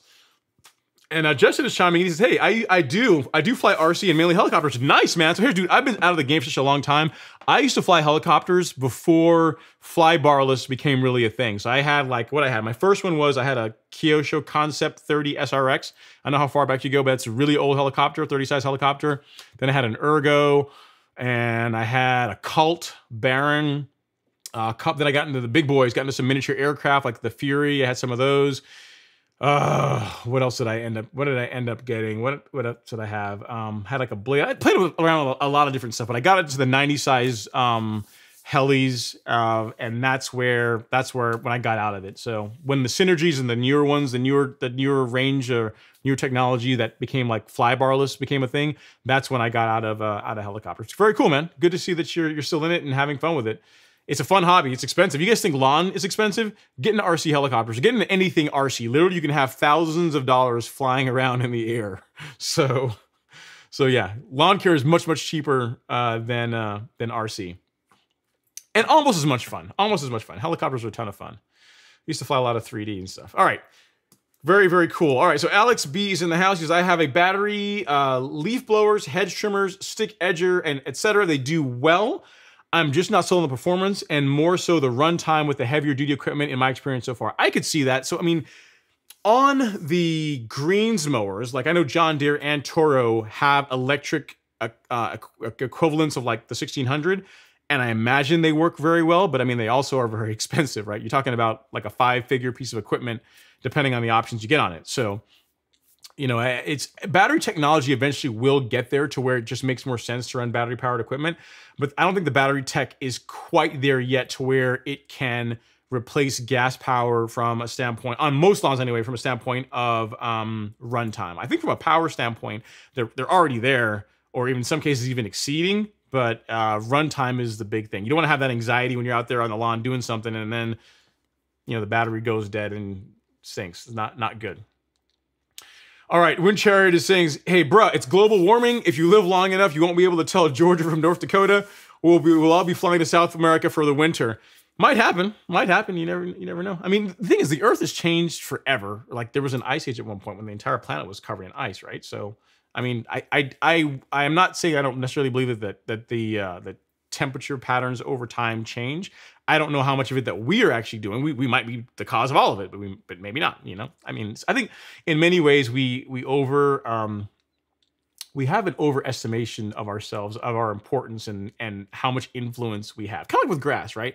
Like the one thing I always tell you guys when it comes to mowing your lawn, what I always say, I say yes, absolutely get a soil test done, get the correct products and fertilizer for your lawn, but the most important thing is to mow it. Like mow it regularly. And even if you do nothing, let's say you don't do anything, say you don't get a soil test done, you don't buy fertilizer, you don't do any of this stuff, but you just mow your lawn and you mow it often, it's it's gonna look better than if you didn't mow it often. And you gotta figure, right? For the most part, grass has been growing all over this planet long before we're here, and it'll be growing probably long after we're gone.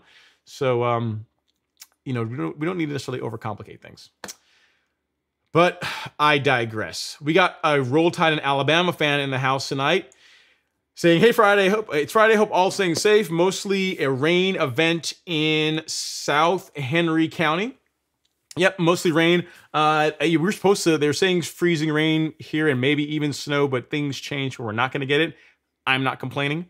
So, uh, so yeah, they can keep the snow. We got it. We got our, our snow last. We got our snow last. Uh, last week. We don't need it. We got, you know, that's our snow for the year. We're, we're, we are due to have snow once per year. Every, all the kids in the neighborhood got to go slide down all the little muddy hills you know, and that's it. We're done. Not till next year.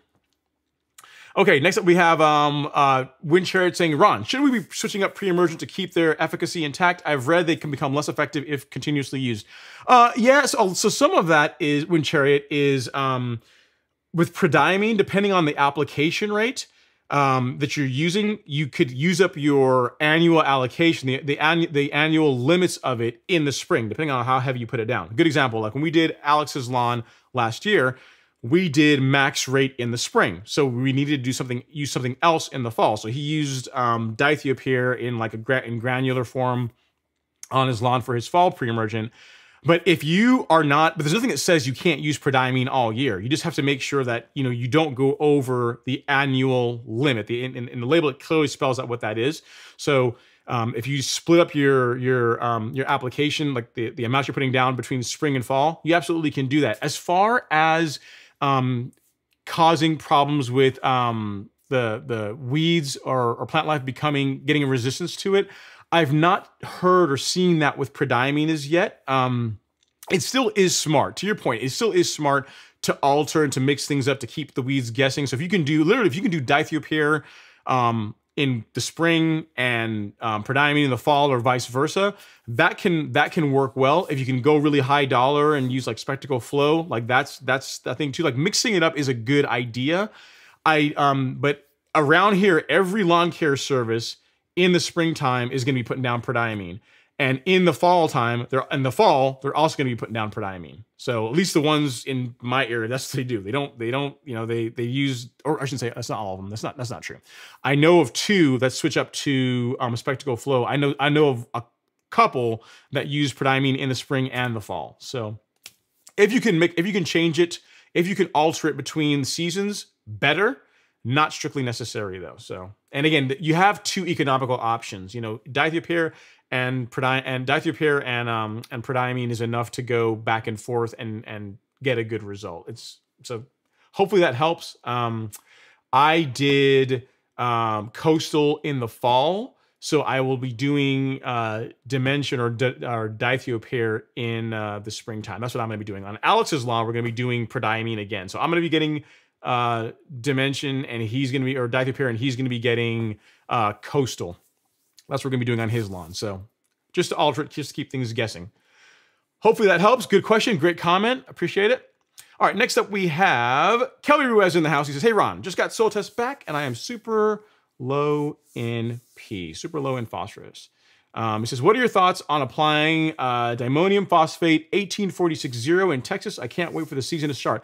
I think it's a good option. I mean, if it's if that's um, if you can you have access to that and you want to go with um, uh, as an option to to help raise your uh, your phosphorus levels, sure. I would wait until the grass is coming out of dormancy, like it's starting to actively grow before putting that down.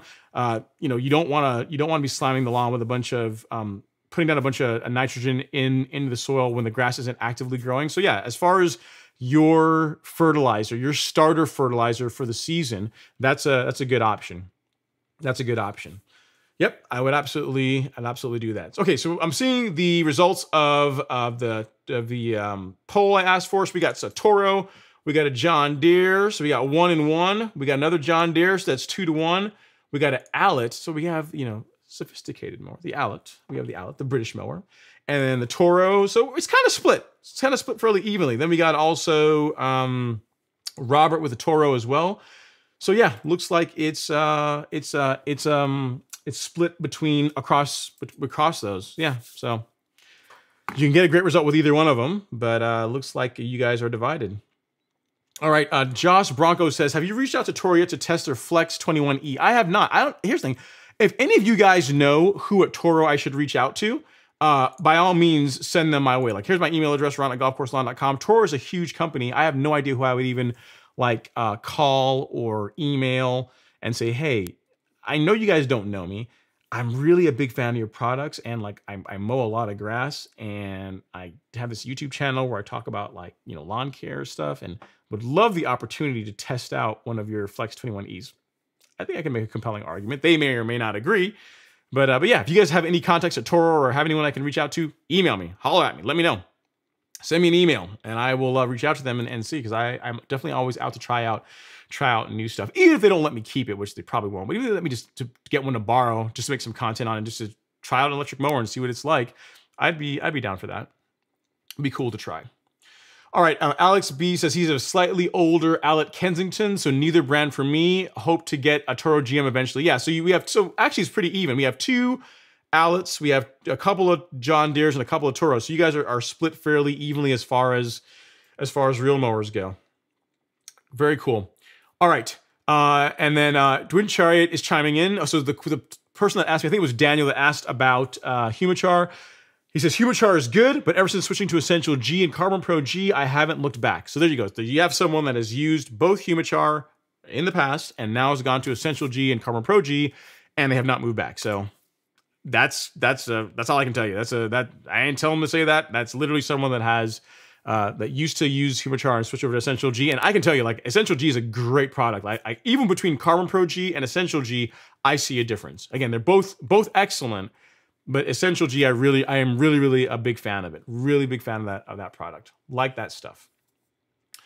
Okay, so next up we have a a uh, question here from um, Botros Marzuk. I apologize if I'm butchering your last name. Not doing it intentionally. It says Ron, can you send me a link to your pre-emergent product for the spring and a good fertilizer for some Bermuda grass? I can do that. So I think I've already shown you guys uh, the pre-emergent that um, I recommend. There's a couple of options for that. So we can let's switch over to the um, wrong one, wrong uh, thingy. Let me find here and back. All right. So as far as pre-emergent, we'll take that first. Thing one, pre-emergent. You got a couple of options. If your lawn is um, is five thousand or six thousand square feet or less, you can go with this. You can save yourself some money. 20 bucks, $21, you get the prodiamine um, in a water dispersible granule format. This is a great option uh, to go to go with. If you have a larger lawn or you just want more value for money, in other words, you just want to be able to stretch what you what you um what you put down a bit further, then the bigger tub is a better option. Like this is like literally the smaller one treats 6,000 square feet. The larger one at, okay, so let's put it way. The, the small one is $21. The larger tub is $67, $68. The small one treats 6,000 square feet. The larger tub treats up to four to five acres, depending on, um, no, that's not true. Depending on application rate. So for cool season grass, it will treat four to five acres. For warm season grass, it's like, I did the math, it's something like 90,000, it's like two acres for Bermuda. So it's a ton. An acre is like 40, 43,000 square feet thereabouts. So it's like for three times the price, you're getting like way more product, way more coverage. So it just depends on which which you decide to go with. So we've covered pre-emergent. Those are your options for that. And in the links of both of those products on the golf course lawn store, there's a video that shows you how to mix it, how to apply it, all that fun stuff. All right, now for fertilizer. Assuming you've done a soil test, again, let me switch back over, and you have done a soil test, right? I know, I know you're asking me this based on soil test results, but if you, you know, if some of you, some of you done a soil test and uh, you're just looking for a great fertilizer to apply, uh, I'm a big fan of the of Humic Max, man. This is what I've been using over the course of the season.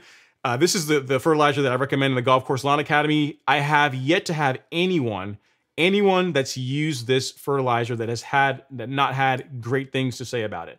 Everyone that's used this has had nothing but good things to say about Humic Max. Um, so you can see it there. If I get my ugly face out of the way, you can see it there on on the lawn. That's that's that's actually my lawn, and that's uh, from using that on the lawn this season. And uh, one bag covers up to 15,000 square feet. There's also a video here talking all about it. And I've got uh, spreader settings in the description here. So if you've got a Scotts, you've got, uh, you know, we got the ones that are on the bag, but also you've got one of the more um, consumer grade spreaders, ones that a lot of you guys have. I also went out and did some calibration and got some numbers for there for you there as well for that. So Humic Max is what I would recommend. Again, awesome, awesome, awesome fertilizer. I have not had anyone that's ever used it that has had anything bad to say about it. In addition to being a quality fertilizer, actually, I didn't even talk about the formulation. Let's do that real quick. The formulation, which is a 1608, but the nice thing as well is this also has um, 8.9% humic acid. So it's a combination product. You got a you have a fertilizer and a great formulation that's great for spoon feeding your lawn. And then it's also got, you know, right at 9% humic acid, which is great for improving nutrient uptake, improving microbial activity. So it's, just, it's an excellent, excellent product. Just a really, really quality product uh, from Lebanon Turf. Really excited that last year they took the chance on us and allowed us to carry it. So, uh, so yeah, if you're looking for something awesome to run in your lawn, I cannot say enough good things about uh, about Humic Max. So there you got got two options. You got Humic Max and you have the prodiamine. There's links. Um, again, go to the golf course lawn store. It's on to be on the on the the front page, and there's there's videos in the descriptions for those products that'll tell you how to mix it, how to apply it, and all that fun stuff. So hopefully that helps. Hopefully that helps. Uh, I'll, I'll, tell you, you know, while I'm at it, if you're going to do that, if you're going to do, um, if you want to also add a kicker to it, right? Because I can tell you how I use it, right? So I use Humic Max, but I also use Turfplex. So I run a spoon feeding program where I run the granular at a relatively low rate, about half a pound of nitrogen per thousand. And then to supplement that, to supplement the humic max, I use, where is it here? I use this, which is Turfplex, which is a quick release, fast release uh, fertilizer. It's a 22.3, but I use that at like a tenth of a pound of nitrogen. So it's a very, a very, just a taste, just a taste of liquid uh, fertilizer that really helps keep the green, uh, pretty much an even green, um, doesn't cause excessive growth, and it's what I used uh, last year. It's what's taught in the Golf Course Lawn Academy, um, and everyone that's used that that process has gotten really good results with it. So something else to consider. It is more involved. It does take more time because you're out there with a granular, putting on the granular fertilizer, and then you know once, twice a month, you're then doing a uh, you're spraying the liquid. But you know you're gonna be out there anyway, so why not? Why not? So that's hopefully that helps. It gives you some um, some good um, good places to start. Uh, Botros, um, again, if you have any other questions, hit me up, ron at golfcourselawn.com, or just leave an additional comment in the live stream. I'll do my best to help you out. But that is what I would recommend. All right. Next up, Kelby Ruiz says, uh, got a new Honda rotary last year. Is it possible to need to replace the blades for next season. Uh, it's possible, totally possible. I only cut the I only cut grass, and so I don't see no damage worth changing it. Yeah. So here's the thing. Um, rotary. If you ask like Allyn or um, long, yes, Lawn Care Nut, or you ask uh, Bermuda Grass Central or any any of the lawn care YouTubers that primarily use rotary mowers, they will tell you that one of the things that people do not do with rotary mowers often enough is sharpen their mower blades. So even though you got it last year, um, it, you need to sharpen it. Like I mean, really, uh, even even more so than a reel mower. I would say for a rotary, you know, if you can plan like two sharpens throughout the season, so if you did one in the in the beginning of the season, say March when you first start cutting, um, one in June-ish, and then another one like late July, early August, that's going to get you the best result in your lawn because the problem the problem with rotary mowers is when those blades get dull, they they do they actually cause a lot of problems in the lawn. They they they, tear, they tend to tear the grass um, a lot, which which promotes causes issues with um with disease. It causes it to look unsightly because it's gonna the grass you're gonna you'll you'll cut the grass and then you'll notice it just kind of turns brown, has like a brown haze over it. Literally, that's all the injury you're causing from cutting the grass with with dull mower blades. So even though you got the mower last year and you're very disciplined about only cutting grass with it, yes, I wouldn't say you necessarily need to replace the blade, but you need to sharpen it. Some people don't even bother um, sharpening it because rotary mower blades are so inexpensive. They could just they just they just teach you know they throw them out. I don't know that I would necessarily do that.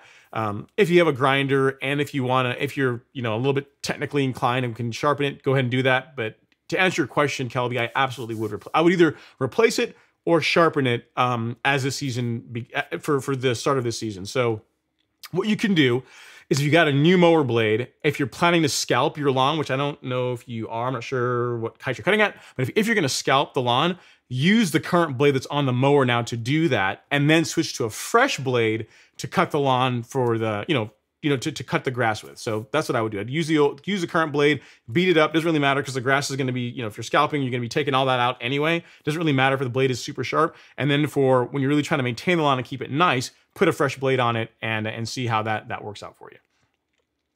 Great question, and yes, you absolutely need to sharpen it and or replace it. This is probably the, the most one of the most common things that um, people with rotary mowers do not do often enough. All right. Next up, Alex B's chiming says, uh, Edwin Chariot, same with me. Humichar is okay. I used one bag in 2020, but does not cover near the area amount they claim, in my opinion, and does not have nearly the impressive ingredients as Carbon Pro G or Essential G. So there you go. There's another person that uh, started out with Humichar and has moved over to that Mirimichi Green Life on that Essential G train. It's good stuff, man. Good stuff. So hopefully that helps you. Hopefully that helps you. All right, uh, JD Holloway's in the house. Next, he has a question about seeding. He says, "Have you ever done dormant seeding? If so, how did it turn out?" I have not. I have not. I've never. I've never put the seed down uh, this time of year when the lawn's dormant. I, you know, I don't know that. Um, I don't know. There's really a ton of reason, in my opinion, a ton of reason to really do it, uh, especially especially on home lawns. Right? There's not really a reason. Like, what are you really getting out of putting the seed down now? versus waiting when conditions are ideal. Like you have more of a chance of it drying out, uh, potentially birds eating it. Oh, that's kind of overblown with birds eating all the all the grass seed, but you know, you just you just have more chance of bad things to happen to the seed because right now you're not in we're not in the in the conditions where it's going to germinate and do well. So I I I personally don't see any upside to doing it there there might be some, but there's none that I can really think of, especially on a home lawn that would make seeding when it's dormant or this time of year that would make that make um, a ton of sense. I can't really see any upside. So hopefully that helps, JD. Uh, good question. All right, next up we get Daniels in the house. He says, uh, uh, "Thanks for the response.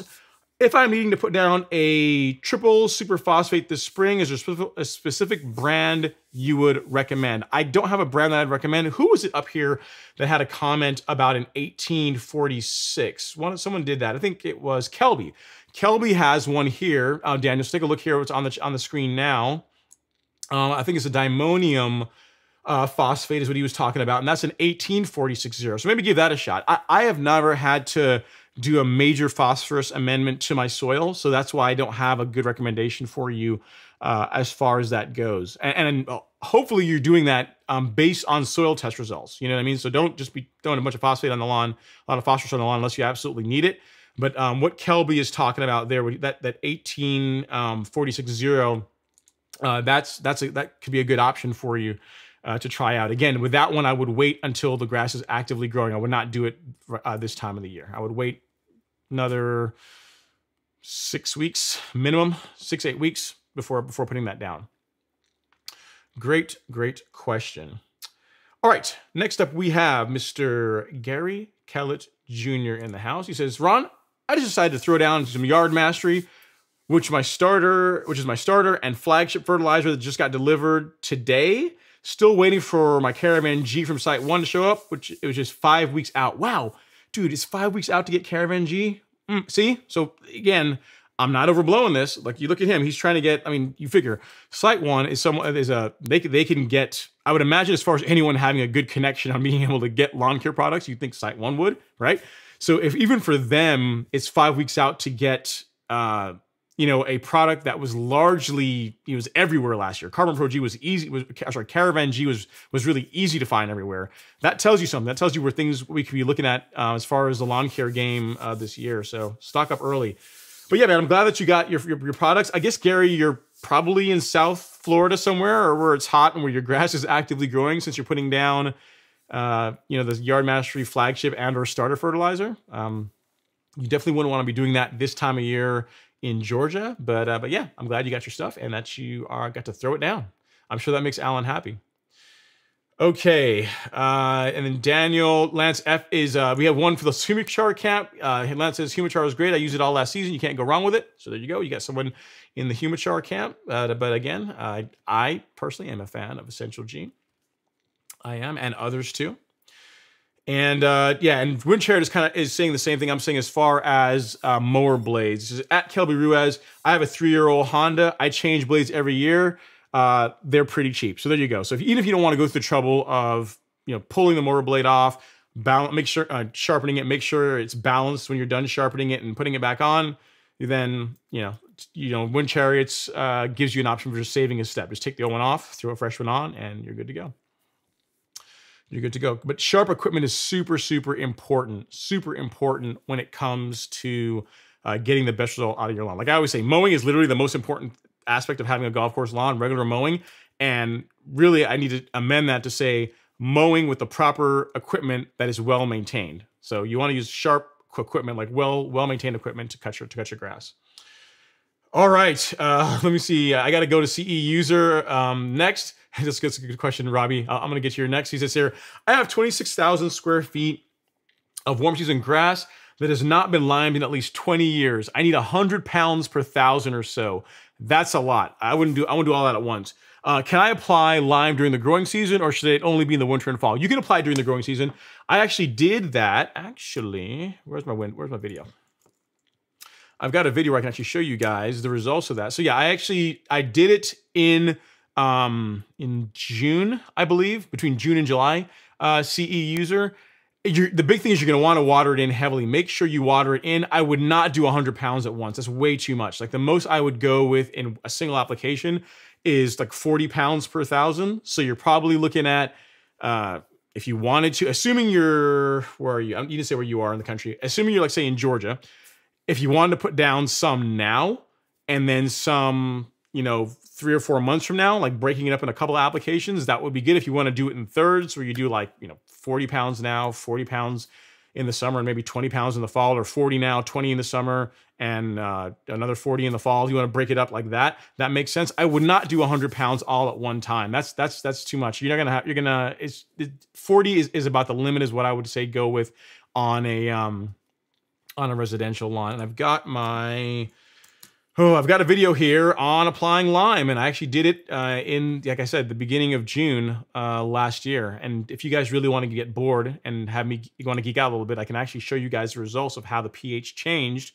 from June to my from their June soil test to my fall soil test from doing that that application. So you absolutely can do it. There are no negative results whatsoever, and um, and it can work well. Yes, so you absolutely can. I just wouldn't do 100 pounds all at once. That's too much. All right, so let me put the link in the chat here for you, CE. Let me see here, at CE user. And uh, this is the lime video. Check that video out. You can see, I talk about like types of lime, application rates. You can see me running on the lawn, all that fun stuff. And uh, there you go. Hopefully, hopefully that that helps. You're gonna be need, you're gonna need a lot of lime. So yeah, I would break it up. And then Robbie's in the house. He's messing with me a little bit. He says, "What kind of what sort of discount can I expect for post to Northern Ireland?"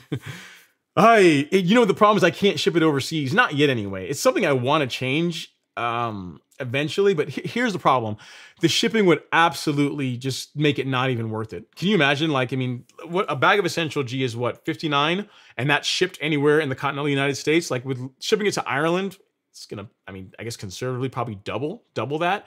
And let's say something happens where it gets damaged, and I got to send you another one. It's just, it's, it's gonna be, it's just not a, not an easy. um logistically it's hard to do it would be easier if Mirimichi Green had like a like a plant or facility in the uk where you could ship from there but to ship it from the us over there it's just not it's just it, it's cost prohibitive to um to do it to pull something like that off all right next up we have suraj malhotra in the house just uh, ha happy new year ron uh, been a while it has been sir hopefully you're doing well thanks for coming to hang out in the chat and Robert Mahora, what's going on, Robert? No air. Ah, I guess it is an airplane. What do you? Oh yeah, it's a it's a jet. Looks like a uh, 747 climbing out. Looks like yeah, it's a 747. Says good evening, uh, Ron, and you all. Hopefully you're doing well. Thanks for coming to hang out in the live stream, sir. And um, let's see, we got out Daniel saying he appreciates Alex's opinion, and he's oh well, I guess it's a kind of a sidebar. He says, "Would you say Humichar is a better source of carbon?" Since it has a higher biochars and more beneficial to the lawn, or just put down high grade compost. I'm sure Alex will chime in. Alex will chime in. All right, uh, and then uh, Wind Chariot is uh, talking about chicken feed as a good source of carbon. It's inexpensive. I like it. I like that as well. Not bad.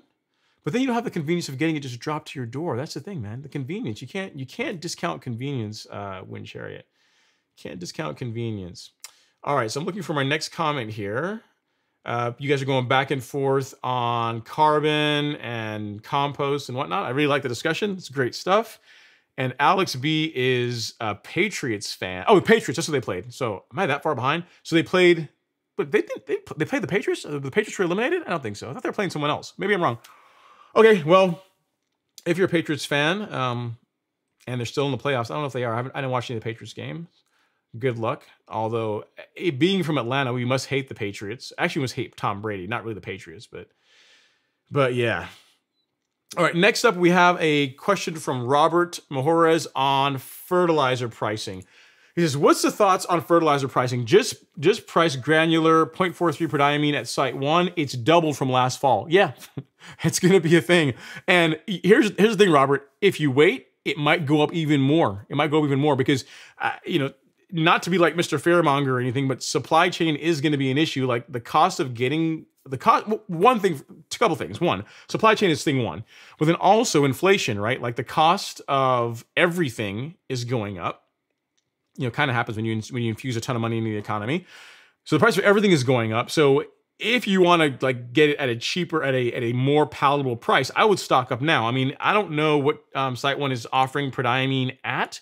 But at the golf course lawn store, we've got it. Granted, it's not 0.43 percentage. We got it at the 0.38, and it's 55 a bag shipped. So I don't know how that compares to what um, you know Site One is offering, but the price of everything is going to go up here. Uh, you know, index over the course of the season. I have no reason to believe that that that things are going to cost what they cost last year. Just if for no reason other than inflation, that is just going to cost more. So that's why I would tell you guys to stock up now. Like even with Humic Max, even like even if you if you guys liked Humic Max, which most everyone that's tried it loved it, like this price, I don't know whenever we get the next shipment in, and we're we're gonna reach out to restock if we're gonna be able to offer it at this price. Probably won't be able to. So if you or if you've used this Humic Max in the past and you've had great results with it, or you're thinking about trying it, like get it now because come March time frame. I don't know what it's going to cost. I haven't gotten any of those any of those numbers or anything as yet to know what it's gonna it's gonna have to sell it for. So hopefully that helps. Hopefully that helps with saving you guys some uh, some coin. If you want to save some money on at least uh, any Mirimichi Green products, join the Golf Course Lawn Academy. You know, all members get a 10% discount in the store, so that's a way to save some coin too. All right, all righty. Um, so you guys are going back and forth about Essential G and Humichar and lawn renovations. like uh, like Daniel is saying, you know, at Wind Chariot and Alex B, appreciate that, guys. Looking for looking to renovate uh, Bermuda lawn this year with Arden 15 seeds. So just trying to figure out the best soil conditioner to prep for the seed. Yeah, I mean, it makes it makes a lot of sense. Putting something down is is a good idea. Uh, something you might want to try too, and I didn't see you mention it, um, Daniel, is um, like a like a, something like Bloomplex. I use this as part of um, I use this when I did my seeding project. This is something we carry in the golf course lawn store. This actually stuff actually worked really, really well. I wouldn't use this all the time as your uh, as your liquid fertilizer unless you, your soil calls or needs needs a phosphorus. But as far as something to help boost your seed, uh, your the the benefit of your, of your seeding project, boost your seed. uh, Bloomplex is a great option. This is what I actually used. Um, you know, the week after putting the seed down uh, last year when I did my top dressing and overseeding overseeding work. And that's also available at the golf course lawn store. So something else to consider as well as Essential G for your um, for your soil prep. Don't also neglect don't neglect also the you know the the starter fert that you want you might want to use in the lawn as well. Great, great stuff. Another option is the triple twelve on the site as well uh, as uh, as well too, right? And um, yeah, and Wind Chariot is is chiming and he agrees with me. He says, "Yeah, get us get a broad starter for and do a soil test prior to see what you're starting with." Yeah, so to to Wind Chariot's point, uh, soil testing is like getting a soil test done. Again, one I recommend, one from my soil. Uh, really easy to use, super, super super accurate results, and you get them back fast. Uh, again, be careless at the golf course lawn store. Like getting that was going to tell you exactly what the soil needs uh, to get it in in great shape to get the best possible results. So. Uh, he is giving you great advice. As far as a starter fertilizer, we also carry the triple 12 in the golf course lawn store as well. So if that's what you decide to go with, you can uh, can do that as well. All right, well, we got a visitor from from Australia, from down under. What's going on? Says, "Good day, mate, from down under, Mr. B. Good day. Uh, I guess it's let me think. So it's winter here still, so it's probably the middle of summer for you guys in Australia. So uh, yeah, thanks for coming to hang out, uh, Mr. B. That's pretty cool. From a visitor from from uh, down under, watching the live stream. Very very very cool stuff, as always. And uh, looks like yeah, Daniel says he's already got it. He already got the triple twelve today. So cool. So you're good to go. You're good to go. All right. Uh, the next question uh, we have here is um, let's see. Let's look at Daniel's other question. He says, "I have a soil test from fall of 2020." and haven't applied anything to the soil in between now and then. Should I just take a new one or should the old results apply just fine?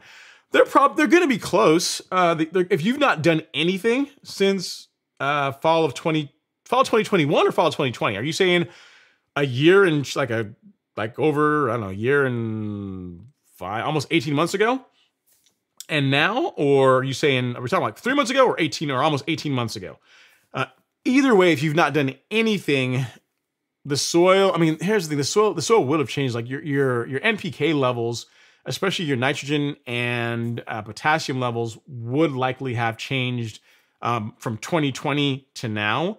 If it's from the fall to now, not as much, not as much. So I mean, soil tests are relatively inexpensive. Here's the thing, Daniel. Here's where I look at it. Right, one of these soil tests, soil test kit's to cost you like 30 bucks, right? If you get, if you don't, if you get the probe, it's to cost you a little bit more.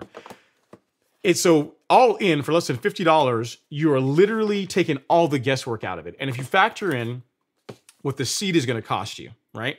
What the water is to cost you, what your time is worth, uh, it's just it's it's a small price as, as you look at the, the overall cost of everything involved like the $50 or so that you might spend on a soil test 30 bucks if you already have one of these um, is small in comparison to the results or, or, or just having the right data to be able to, to know that this you've you've up, you're giving the ground or giving the soil exactly what it needs so you so that you can get the best possible result. So for me, it's a, it's a great investment, especially for someone like you that is is about to undertake a big project of of seeding the entire lawn. You know, so just something to consider.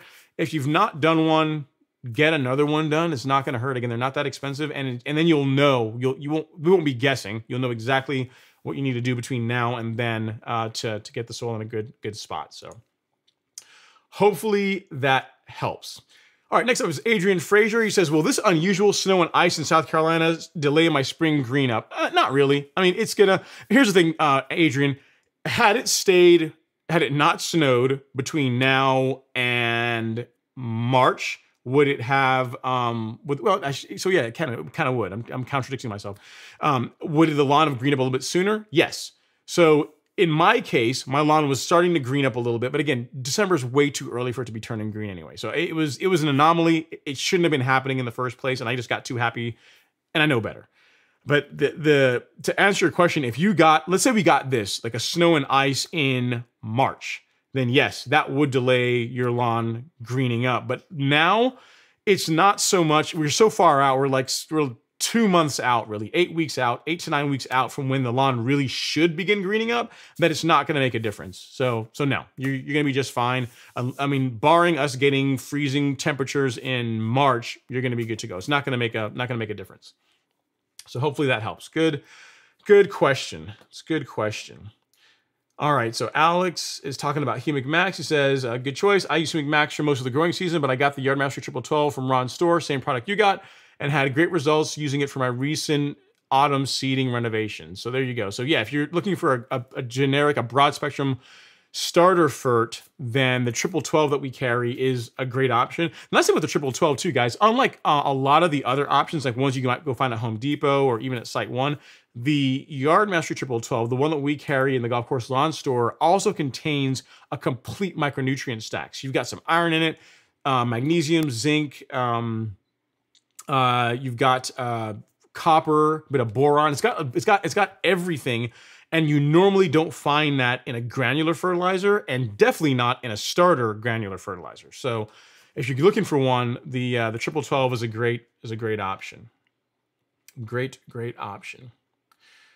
All right. Uh, so next up, we have uh, David W. in the house. It says, "I live in Central Oklahoma, and my soil is super dry to the point that it to the point that it pulls back from my foundation. So super dry. Okay, so yeah, so super like parched, parched, like scorched earth dry. he says, "Will aeration fix that? Uh, any other options? Should I backfill the open spots by my foundation?" Yeah. So aeration is going to breakup compaction is going to allow more moisture to get down into the soil.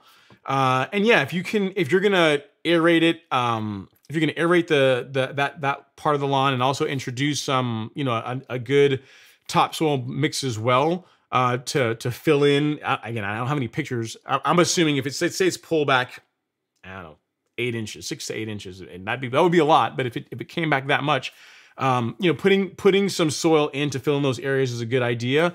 I, I, it was crazy is that you're really that dry. I mean, I've, I've um, I we have some some dry soil here in in Georgia, but as far and I've seen it get so dry that it caught that it cracks and does some really nasty things. But pulling back from the foundation again, I don't know how much. You didn't say how far it's pulling back, but I'm imagining if it's that big a deal that you're considering filling it in, that it's substantial.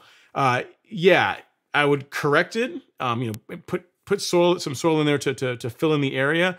Aerate. Consider also um, using a moisture manager as well. I don't know if any grass is growing in that area.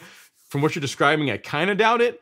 But um, but if grass will grow there, using a moisture manager like Hydretain is something else you can also do to help retain a bit of moisture uh, in the area. It would be just it would be nice to know like what's causing what's causing that. Is it just that that area just doesn't get any rain? It gets no moisture, and that's why it's so dry um, or what? Because it, would be interesting. Because here's why I'm, I'm interested in knowing that, um, David. Because if we go through all this trouble, you go through and you aerate, and you go through and you put additional soil in, and we, we don't really figure out why that's happening. It's likely just to happen again. Or if it's something that's been just something that's taken several years to get to that point, that might be the answer. But if you're saying that it's so dry that this is happening on a regular basis, we want to figure out why why that is, um, so we can make it make that not happen. Try and take corrective action, whether introduce some drainage, some some some way to get water in that area, or something along those lines, to where you're not always having uh, the lawn, the soil dry out that much. So hopefully that helps. The answer to your question is yes. I would aerate, not now, like once once we get into the season and you know fill that area, maybe do a light top dressing of that area just to to to, to fill in the areas that were were pulled back a bit, and then we can we can keep an eye on it and see uh, how it does after that. Fun question. That's a good one. All right, Brick Rehab's in the house. What's going on, Brick Rehab? He says, uh, "Hi peeps, listening and driving home." That's right. You're always on the the, the freeway, right? So uh, I'm glad that you're listening, sir. Appreciate the uh, the support. Appreciate the support. And then Jim Carson is saying, David W. Sounds like you have expansive soil. All right, and then David says, "I'm new. I don't know. Am I? I'm suppose I'm new. I'm in Oklahoma. I'm still learning. So we shall. Uh, we'll we'll see. It, yeah, keep yeah somehow keep introducing moisture will salt will help with this. So, you know, if you want to aerate and then put you know fill in the, the the the dry areas and then keep figure out some way to keep some moisture on it because you just can't just we just can't have it drying out that much. So I'm not sure what it's going to take to do that, um, but we introducing water will help will help this problem. Okay, uh, and then Jim Carson is yeah. Jim also agrees with me. He says, "Yeah, David, try keeping the dirt wet and see if that if it closes up." So yeah, introduce moisture. Moisture covers a lot, a multitude of sins uh, when it comes to lawn care. So there you go. Uh, Fairway Bermuda Lawn is talking about the Sun Joe. He's chiming in. He says, "Hey, yeah, the Sun Joe works great. I purchased one and used it last year. I'm going to make content on it in late spring. So there you go. Look out for the Fairway Bermuda's channel. If you've not subscribed to him yet, go give him a, a sub." So that whenever he does make the content on it, you will be able to see it. So there you go. The pressure's on now. The pressure's on fairway. You got you got to deliver now. You got to deliver on that Sun Joe content. It's gotta it's gotta happen. It gotta happen. And then uh, and Dan uh, Wind Chariot is is back. He's talking about adding phosphorus uh, whenever doing seeding, which is something I did as well too. He says, yeah, at Daniel, I added a higher phosphorus starter for it because of my soil test uh, my P, my phosphorus needed a boost. So in Wind Chariot's case, his phosphorus was a bit low, which is why he added a higher P uh, fertilizer. I didn't really need phosphorus, but this, as you can tell, if you look at the ingredients in it, this is 16% in the Bloomplex. So this is an option if you want something in a liquid that's easy to apply. Uh, that's why I ended up going, that's what I ended up going with for my lawn. So for my seeding project last year. Okay, and then uh, uh, Lois is in the house. What's going on, Lois? Hopefully you're doing well. She says, "Happy Friday." I just hit the like button. I picked up my Stihl Edger. All right, some hardware. Okay, we got we got to clap it up for that. Got to clap it up. New hardware. Is, I didn't get any attachments because I didn't need them. Okay, so you just got just the Edger. Cool, very cool. You gotta let us know how it does. Because now you were you were debating between the electric and the gas powered. I thought right. So which one did you end up going with? Did you end up going with the electric? Or the gas powered um, edger. So if you're still here, uh, let us know down in the um, in the comments. Okay, and then Scott uh, Scott Lang is chiming in as far as like uh, splitting up your pre-emergence. So Scott has a question around uh, choosing or, or, or varying pre-emergence for different times a year. He says, I did a split application of Stonewall in mid-November and plan to do the other half in the next couple of weeks. Would it be okay to use Dimension in late March? Yes, yeah. It, it would be. I mean, with Stonewall, what what does the label say as far as um, the efficacy period on it? You know, like how long is it supposed to last for? So if you're going to do it now, uh, so we're in January, and you know if you're going to do Dimension in late March, yeah, I mean if you're if you're going to be putting down Stonewall now, I might wait. I might push it a little bit later because Dimension, uh, as you probably already know, Scott, it has a little bit of reach back uh, on on baby crabgrass, so young crabgrass. So if you can wait till you know instead of March, if we can go like April for the dimension, because the Stonewall should still be working, especially if you do it in the next couple of weeks and you're you know it's not gonna it's not gonna lose its effectiveness in the in the course of like a month. So I wouldn't do like Stonewall early February and then go do another pre-emergent um, in March. I would I would space it out a bit. Um, and especially with being dimensions being the one that you mentioned, I would give it a little bit of time. I would go into April with that because you've already gonna you're already gonna have coverage, and you're also gonna be able to take advantage of its ability to kill uh, baby crabgrass, assuming you have any at all, because you're essentially doing an uh, an app that if you waited a couple of weeks might even might even work for you as far as your uh, your spring pre-emergent app. So just something to consider, something to keep in mind. All right. Um, and then uh, says, "Go for it, uh, Ron." Appreciate it. Uh, I'm not sure what you mean, but okay.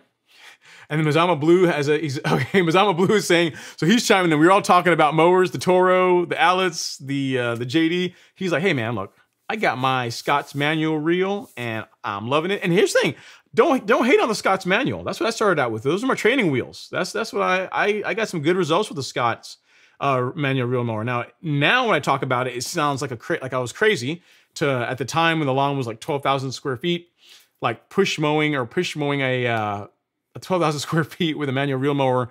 Uh, a twenty inch manual reel mower was not the brightest idea, but um, hey, I earned my stripes, man. You know, literally, I got my stripes literally doing that. So don't hate on the Scotts. Good piece of kit. It's a great way to get your feet wet into into reel mowing for people that are on the fence about it.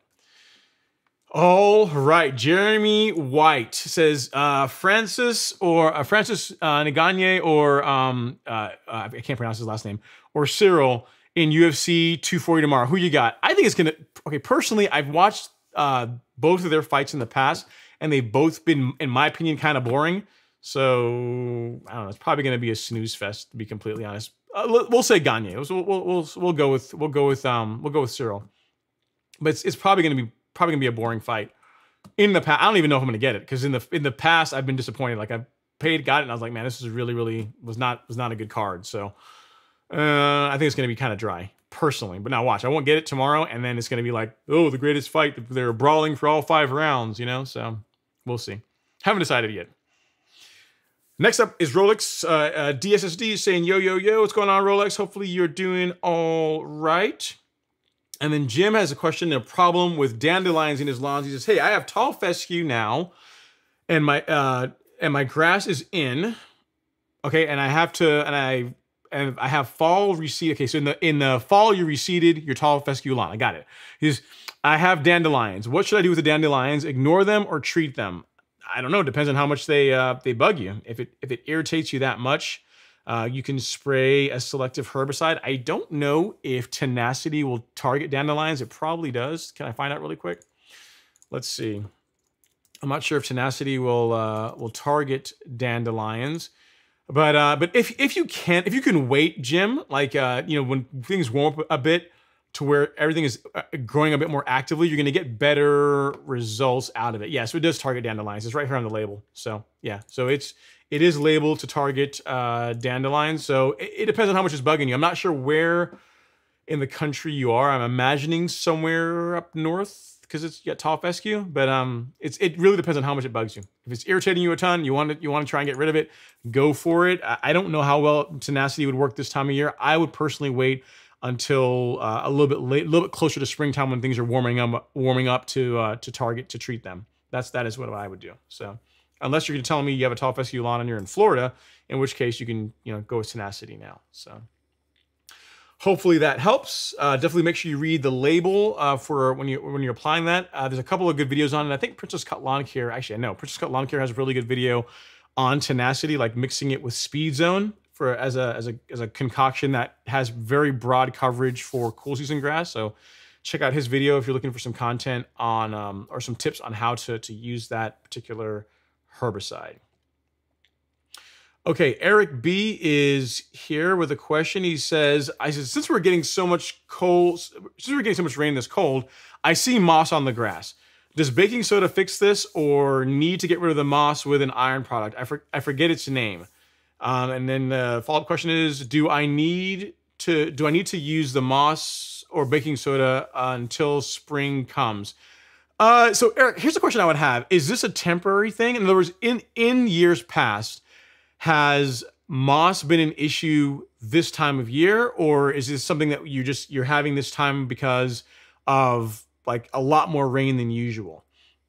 If it's because you're just having a lot more rain than usual, it's a temporary thing. I might not just do anything about it, to be completely honest. Like you know, it, whenever in you know four to six weeks from now, when temps start warming up a bit, it's it's more than likely going to go away. Again, if we're talking about an area that normally does not have issues with moss, and it's just like you get you're seeing a little bit in a few areas due to heavy rain, I wouldn't be so quick to run out there and, and put something down to take care of it. If it's if it's a if it's something if you know where it came from and it's not a constant problem, then I would just just let it go. I really I don't know that I would be in a hurry to get out there and put uh, baking soda or iron or anything anything down on it to uh, to try and get rid of it uh, this time of year because more than likely temperature is going to take care of it in another six weeks or so. Just something to, to consider. All right, next up we have a um, a comment from Lance F saying, "Ron, I cannot wait for the summer. Uh, going to going to slay the neighborhood. I like it. I like it. I like it. I like it. I like the confidence. He says the whole county. don't forget the neighborhood. The whole county. He says Whole county is what this man's going after. He says your spoon feeding method is spot on. Looking to retain the belt. Want to keep that? Want to keep the belt on, right? All right, man. I, I hear you. I like it. I like confidence is high. You know, definitely get your products. Make sure you're all stocked up and good to go. And just here's the thing, Lance. If what you did last year worked, if you got great results with it, just stick with it. You know, if you want to make small adjustments or try small things here and there, fine. But I mean, if you have a process that works and is producing those results, no reason not to do it. You know, you want to retain the belt. You want to, you want to, in your case, you know, you're, you're, you're stepping it up. You know, just, just the neighborhood, just your street isn't enough. You want the entire county. So, you, know, you want to make sure your game's on point. You don't want to go out and introduce anything too crazy and, uh, and mess up your results. So I like it. I like it. I like, I like the thing. And, and you know, that's a common thing I find. So most people, that are that are really into their lawns, right? Most people that are really into into home lawn care, not everyone, but most are are fairly competitive in nature. So either they like play played sports in the past, or they just or they you know, or just in general they just like to win. That is, and even if it means winning at their lawn or my their lawn is the best looking lawn in the neighborhood or the best looking lawn on the street, they're just a competitive bunch, which is which is really it's interesting. It's an interesting character trait that I see uh, both in the live stream and also people that email me like you won't be surprised at emails that I get from people that say, "Hey, Ron, listen, I want to know, you know, let me know what I need to do to dominate like this year. Give me the give me the entire process." I'm like, "Well, you really should just go get the course. The course has it all laid out. Literally, like if if you have like a couple of hours to watch videos and implement what's in them, like literally lays it all out for you."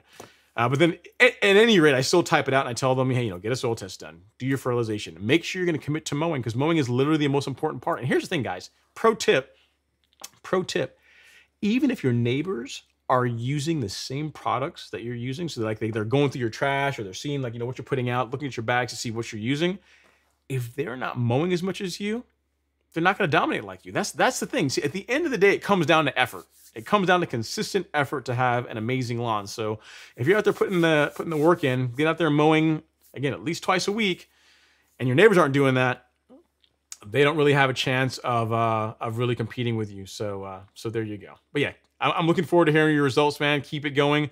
Let's see if we got a super a super chat here. Let me run down here and grab that really quick from Scott. I appreciate it, Scott. Thank you so much, sir. Super chat. It says, uh, "Thanks, Ron. I appreciate the information. You're very very welcome, sir. Thank you for coming in the live stream and asking questions. Makes it fun. I'd be here on a Friday night just talking to myself if you guys didn't show up, right? And that would be kind of weird. So I appreciate you guys coming to hang out and just have some fun." Uh, some fun turf talk as we complain about winter weather and pray for spring to arrive sooner than later. Right? And on that, on that note, it's the top of the hour. While I uh, take a sip of my lemonade and uh, look for the next question, I'm going to give you guys a chance to touch that like button ever so gently. And while I sip my lemonade.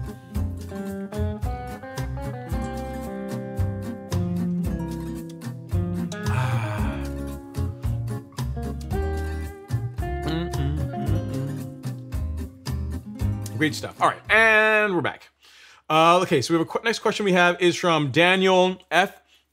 He says, "Hey Ron, is there a reason you suggest the Andersons 1824-12 uh, over the Yardmaster Triple 12 starter for?" Yes, the only, the reason why, if you see me having a recommendation, I think in the course I might have a, a section on that because I have I talk about different fertilizers that you can use uh, depending on what you're trying to accomplish in the soil in a situation where you you need you have your uh, phosphorus deficient, right? So you need to add more phosphorus to the soil, um, and you still want to use something that's balanced to an extent, right? So it has like all has um, all three ingredients. You get your nitrogen, your phosphorus, and your potassium, but you want you want the phosphorus to be the dominant uh, uh, macro. That's where the Andersons comes in. Where that one, the the 1824-12 makes a lot of sense because yes, you can use the Yard Mastery Triple 12, but that's really for soil that is already in or, or you're not really trying to to jockey um, uh, levels in this case of, of phosphorus. Does that make sense? So the, the triple 12, nothing wrong with that. You can use that. It, it will raise your phosphorus levels, but if you're really trying to boost the phosphorus levels um, over the nitrogen and potassium, that's where the 18, 24, 12 uh, makes sense. So that's that's the whole reasoning for it. For your Arden 15 spring project, uh, that's a great option. So if you look at this, right, like I use the Bloomplex Daniel, right? I use an 1816.5. What is what's different? What's the, the the the common theme here, right? So the Andersons is 18 24 12. The the the highest number is the phosphorus. In this case, mine I'm using an 8165. The highest number is the phosphorus, you know, to help um, with that with the seeding with root development. So yeah, that's that's the reasoning behind that. So either one can work. Triple 12 will work. The Andersons can also work as well too the, the 1824-12 is a better choice if you also need um uh you it's also is also if you also need the uh to raise your phosphorus levels as well And actually, I just got a question here about the golf course lawn store. It's, funny. I'm, I'm talking about the store the entire time. I don't have a link to it in here. So, golf course lawn store. I just got that from Jim. this is Ron, we need a link to your store. you do. you think I'm, I'm, I'm, I'm trying to get you guys to, to buy products and take, take advantage of all the cool discounts that I, I uh, put together for the course. And the one thing I didn't put is a link to the store in here, right? So interesting. Golf course lawn store. And there you go. There you go. There, there's your link. And actually, I will pin the message. I think we can do that. So you guys should see it um, pop up to where um, that's where you can go get all the a lot of the products that I'm talking about, and you can also get the discount on the Golf Course Lawn Academy. So there you go. It's a pinned comment now. You guys have got a link to it. You can go there and, and pick that up. Because again, I want you guys to sign up for the course, but I also want you guys to save money. So get it, save $45 on it by buying something in the store and getting the course, and then you can recoup your cost with the discount coupon that you guys, that all the members get. Um, the discount code is GCLA member, which again, don't try and use it if you're not a member because it's not going to work. like I thought about that. so, um, but yeah, in the lot in the course content, like I think it's the lesson two, the second one, second module. It, it, tells you exactly how to take advantage of the discount, like how to use it, all this kind of stuff. But yeah, it's like literally 10% off of all Mirimichi Green products in the store. And uh, there you go. The link is now up on the screen, Jim. I appreciate you. Thanks for the question. Something I should have been doing all along, so I'll do that going forward. Good, uh, good ask. All right, Daniel says uh, triple 12 because I can use it for plants, shrubs, and I just wanted to know why you suggested the 1824 12 for starter for it. Well, well yep, that's a good, that's a good, uh, it's fair enough. You can use the the 1824 as well. I mean, it's it's really if the soil that you're trying to treat needs phosphorus, right? So even if you're doing other, you know, if, you're, if you you have like a flower bed and you do a soil test in the flower bed and it's phosphorus deficient, you can still use that. You could use the 1824 12 in that case too. So it's it's really for for cases where you're where you're trying to boost phosphorus levels. So hopefully that helps. And uh, there we go. All right, uh, Lois has a question. She says, Ron, is anyone else having a difficult time getting their lawnmower serviced? Don't know. Haven't taken mine in as yet. I, I reached out to Joey. That's when he told me, hey, I'm not working at Jerry Pate anymore. So Bruce, I got I got to talk to Bruce. I don't I don't think this time of year shouldn't be too bad for uh, for Greensmasters, but let me finish reading your question. He says, I have a Toro and a Troy-Bilt rotary, a repair shop to change my blades with a three-week turnaround. Um, I'm not sure which repair shop you're using, uh, Lois. I'm not sure if you're, I'm not sure what area you're in. If you're in the Atlanta area, if you're in the Atlanta area, give Jerry Pate Company a call. They should be able to do better than three weeks, especially this time of year. I don't know where you are though. So if you, depending on where you are in the country, if they you know, if they're just if it's a smaller shop or they're or they're just getting a lot of equipment in at the time, it's not a you know it could be it could be three weeks. I mean that's that sounds a bit long to me, but um, but it's it's possible just depending on what their load is. But I mean you, you are doing the right thing by getting it done earlier, getting it done now versus like imagine if you waited till March to do it and you, you know you got like three weeks without your equipment. That would be bad. Like if the time to be without your your mower is now. You know what I mean? Not not um you know two months from now when you're in the, when the growing season is kicking off and you need to be out there mowing your lawn. Very cool. All right, Demir's in the house. What's going on, sir? What's going on? He says, What's going on, Ron? Late to the show tonight, but one more day closer to spring. Isn't that the truth, sir? And I, I sent you a message on Instagram. We got to get to we got to link up. I got to figure out what your schedule is like to get you back on the show. Um, I know you're a busy guy, so I, I just gotta we gotta gotta put our schedules together and figure out when you can get out here and drop some golf course and turf knowledge on us and answer all the tough questions and stuff. And and to be completely honest, you take some of the pressure off of me. I can sit back and sip my lemonade and just let you take it away for a lot of the evening, right? So I need I need like a like an off night or a, or like a, a less less work night, and you you can help facilitate that. Plus, they, everyone really likes you, so there's that. So we got to make that happen. Got to make that happen. And Lois says, I learned how to change the air filter and oil. Not sure about changing blades. So here's the thing, uh, Lois. If you're if you're talking about doing a so a, a, rotary mower, it's really not that hard to change lawnmower blades. Um, there's I think Allyn, man, can I find it really quickly? Allyn's got a really good video. Like the Lawn Care's got a really good video on changing lawnmower blades. I think Bermuda Grass Central also has one on uh, on changing uh, lawnmower blades, uh, lawnmower blades. I'm just just go on on YouTube and check. but it's not that hard. Literally, it is. If especially if you're not sharpening it yourself, all you're doing is um, removing the old blade and putting a new one on.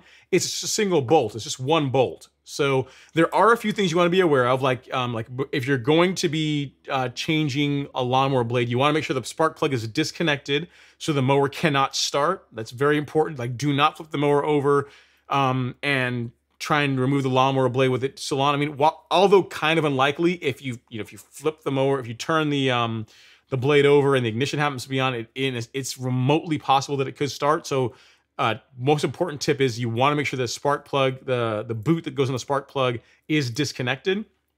And then there's a couple of tricks like using a block of wood to isolate the blade so it can't really rotate and then breaking it loose. But literally, it's one bolt, one bolt to back it off, one bolt to put it, to put the new blade up back on. If you've already if you already know how to change the filters and the oil, the blade really isn't that bad. The blade really, in my opinion, the, the blade is is is probably easier. It's definitely less messy than changing changing the oil. So uh, check out um, Bermuda Grass Central's YouTube channel. I think he has a, a video on lawnmower blades, changing blades.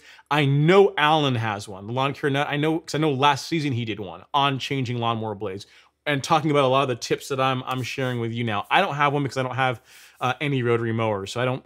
But there's a few things I can just tell you for safety safety aspect. Make sure the the spark plug is disconnected, like the boot is off the spark plug before you do it. So hopefully that helps. It sounds like you're on your way there. So maybe after this time, after this maintenance, you get the mower back.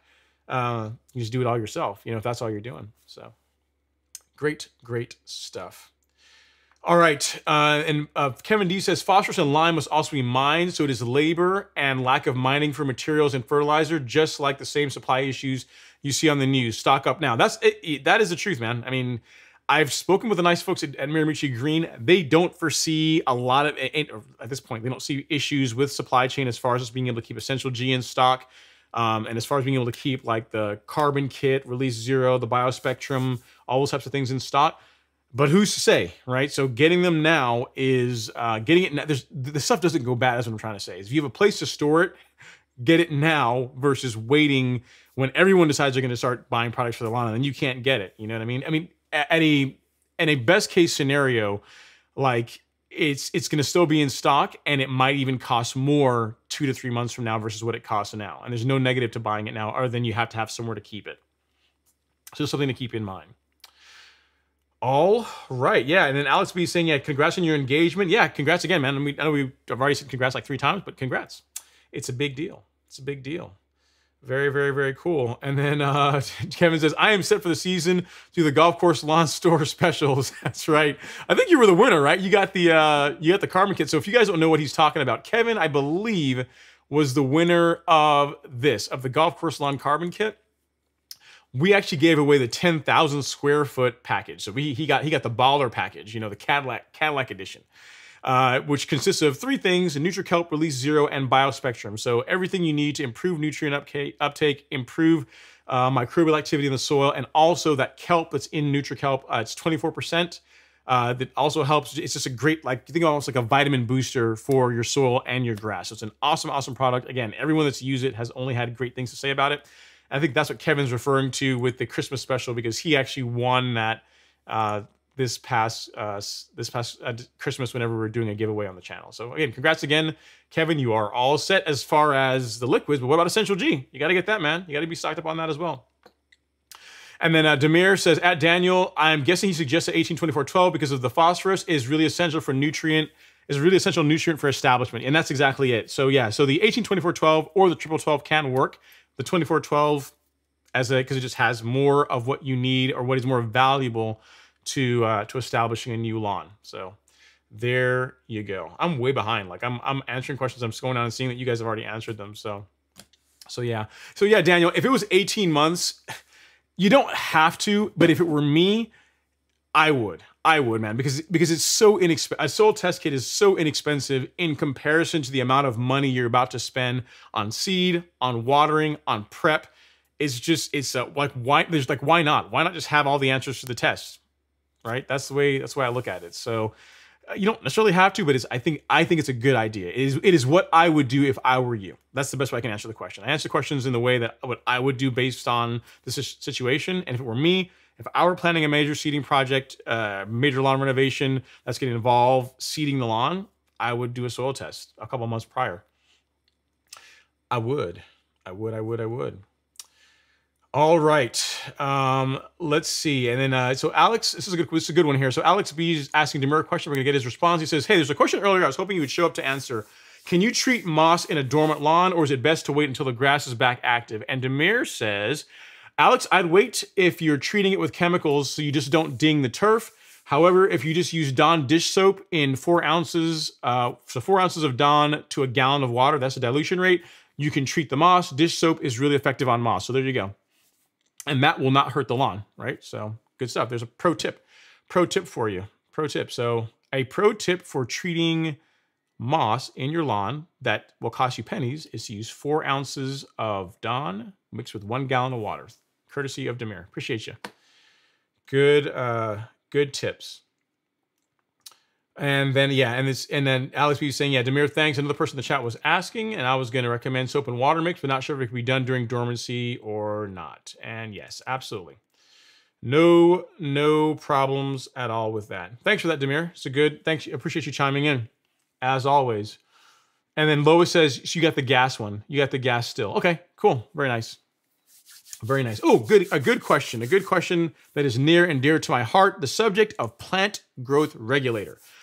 Dustin Waterman is in. He says, risk versus reward on using PGR for the first time on my lawn this year. Bluegrass, rye, and probably some older fescue lawn. Risk, if you follow the application rates, practically none. There's no really no risk. No, no, there's practically I wouldn't say there's not zero, but there's it's there's little chance that anything bad is going to happen. Kind of like putting down fertilizer or putting or using herbicide on your lawn. Like if you use it correctly at the correct rates, the risk is minimal, right? So it's um, very, very minimal. And the reward is that it's awesome. Like like plant growth. I mean, ask Demir, like he's in here. Like plant growth regulator is awesome stuff. Especially if you are. You didn't say if you're like real mowing. Uh, you have fescue, so probably not. But if you, but if you're, especially for shortcut turf, plant growth regulator is a godsend. It saves you. It saves you. It, it improves the the quality of the turf, the, the look of it, the density um, and it just cuts down on mowing. It cuts down on mowing. Like it's great, great stuff. And it's it's really not that hard to use. So if I have, do I have one here? Actually, I can do it. I got to unplug here real quick. I'm gonna grab my container and I'll show you what I'm talking about. Music. All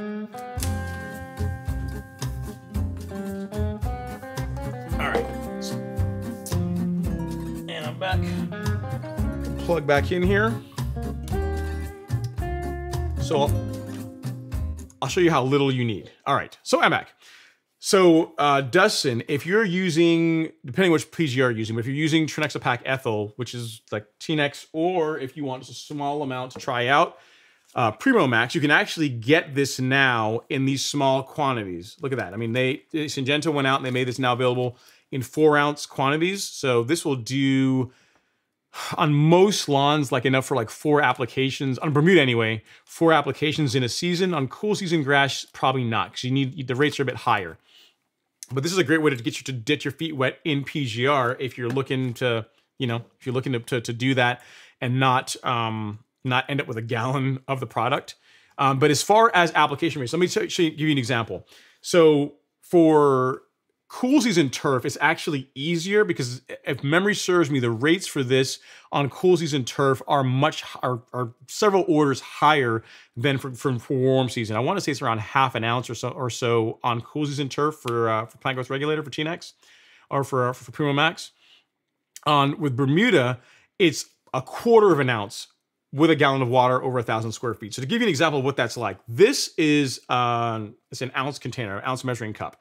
One ounce is that first mark right there. That first, that lowest mark, the one at the very bottom, that's one ounce. That one ounce, so one ounce of this product is enough for 4,000 square feet. So you take one ounce of this, mix it with four gallons of water, and that's enough for 4,000 square feet of coverage on a Bermuda grass lawn. For um, what you have for a rye a Rylon, um, it's uh, the rates are going to be higher. I want to say it's close to half an ounce per thousand, so you'd be more like in like two ounces in comparison to what I'm doing. Um, but check the label. If you follow the label uh, and again, you apply it at the correct rates. So again, you've got a, you've got a backpack sprayer that is calibrated, meaning you know how much product you're putting down over a certain uh, over a given area. Uh, if you also a pro tip as well is if you can mix a little bit of um a little bit of iron in with it. So what I use, what I do in my in my blend is I use T-Nex or I use sorry I keep saying T-Nex. I've used it forever. I use this. I use um Trinexapac Ethyl, so Primo Max, and I mix it with an application of uh, of Turfplex. I use it at a low rate. So I use uh, the PGR a bit of Turfplex, and I also use the carbon kit with it. I, the carbon kit is not, strictly necessary, but adding a little bit of nitrogen and iron uh, gets rid of or takes the edge off of the yellowing, the slight yellowing you get whenever you apply um, PGR. So it's not a um, it's not something that you're going to, it's a permanent thing, but on Bermuda lawns anyway, and I imagine it's probably the same thing on cool and turf as well. The first time you apply PGR, it is especially worse, I find the first time of the season, if you don't mix a little bit of iron or a little bit of or nitrogen in with it, you get like this. Um, we call it bronzing, but it's like a it's a, a slight yellowing of the of the turf a couple of days after applying this. Once you mow the lawn, it's going to be gone, and it's just going to be just green. The lawn's going to return to green. It's going to look awesome as always. You're just going to be mowing it a lot less frequently. That's the only, and I, I don't want to say it's a risk, but it's just it's something to that that you should be pre prepare prepare for um, as part of using plant growth regulator. It's not a negative. It doesn't doesn't look horrible. A lot of times I do it on my lawn. You guys could not even tell when I, I sprayed PGR on it, but that is something that you you can have is a slight yellowing. It is temporary. Like the first time you mow after that that appears, which tends to happen two to three days after application, it's going to be gone. So what to, to kind of, so to, to summarize, I'm kind of going on and beating this point to death, but to summarize, let's say you applied PGR on a Monday by Wednesday, Thursday, you're going to start, you'll likely see, or in my case, you see a slight yellowing of the turf. Um, the next time you mow, that's going to be gone, and the grass is going to look great after that. And It's not, it's not going to return again. So, but the big thing is, the most important thing is read the label and apply it at the correct rates. PGR, like you know, whereas with fertilizer you can kind of jockey rates, you can you can go a little heavier, go a little lighter, or whatever. Um, with plant growth regulator, you really need to follow the rates. You can go lighter and not get as good a result, but but you absolutely do not want to go heavy with PGR. More is not better. Uh, trust me when I say you do not need to go heavy um, with PGR to get a good result. And if you decide you want to get like the smaller container of it of um, a Primo Max Trinexapac Ethyl, uh, you can pick it up here. Yep, they got it back in stock. Do My Own has it in stock, so I'll send you a link here to it. That way you can you can get it for a less for a smaller quantity, so you can try it out, and that way you're not stuck with a gallon of the stuff if you decide you don't want to do it. So here you go. There is a link to Plant Growth Regulator for you. Hopefully that helps. Good little chat, a little sidebar on uh, on PGR. But it's awesome stuff, man. You won't regret it. Once you, once you start, you're gonna you're gonna love it. I I could not imagine not using PGR on my lawn uh, these days. No way. Okay, so you guys are going back and forth about the tall fescue and the soap and water, and I'm looking for our next question. It looks like uh, Eric and Alex and Demir, that you guys are getting a question answered around your moss, which is good. Next up, we have Lois. She says, I'm applying Dimension Granular this spring. Any tips you want to throw my way? I used Prodiamine 007 in the fall. I decided on, on Triad for my clover, okay? Is there a difference between Triad and Triad QC? I don't know. I'm not familiar with that herbicide, um, Lois, to be able to tell you what the differences are between them. But I could look really quick, but I'm I'm not um, not familiar. As far as a tip, well, I look it up here so I can I can tell you really quick. Um, as far as um, as far as a tip for the granular dimension, uh, you are i'm going to give you a video to watch uh, as far as as figuring out how much of the product you need to apply to your lawn because yes granular pre-emergent is a little is a lot less picky or a little less picky than than using the um the the water dispersible granule. Like with this you really need to use an accurate scale. You need to weigh it out. You need to make sure you're applying it at the correct rates. With the granular, because the rates are a little bit lower, there's a bit more fudge factor. But I have a video on applying pre-emergent that you should watch that talks about how to determine application rates, even with granular, and how to weigh it out to make sure that you're putting down the right amount of product um, on the lawn. You're not, you're not over applying it. But it sounds like you've already done it. You did, you did the 007 last fall. um, just check the rate, you know, check the uh, the label and make sure you're accurately measuring out the amount of dimension granular that you need to uh, to achieve the correct the correct rate. And I'm looking for a video here that I'll send to you that shows you the process I'm talking about. But again, it's similar. It's going to be similar to what you did already with your uh, with the prodiamine over the fall. All right, so let me get this here for you, the link for you. So at Lois, let's see here, at uh, Lois H, and uh, pre, I'd say measuring, um, measuring pre-emergent. Let me get let me get this for you. It's uh, it's the one, yeah, it's the one where I was at Real Rollers. So you don't need to watch the entire video; just watch the first part of it. Well, watch the entire things. I, I need, watch the entire things. I need the views, but uh, this the first part of it is where I talk about um, accurately measuring uh, the weighing out how much you want to, how much of the product you're going to put down. All right, granular um, prodiamine, uh, pream measurement. There you go. Uh. Typing is hard. So hopefully that video should help you out, uh, Lois. Take a look at that. That will give you some some tips uh, as far as doing that. As far as Triad and Triad QC, I don't know off the top of my head. I'm just not familiar with that herbicide to be able to tell you.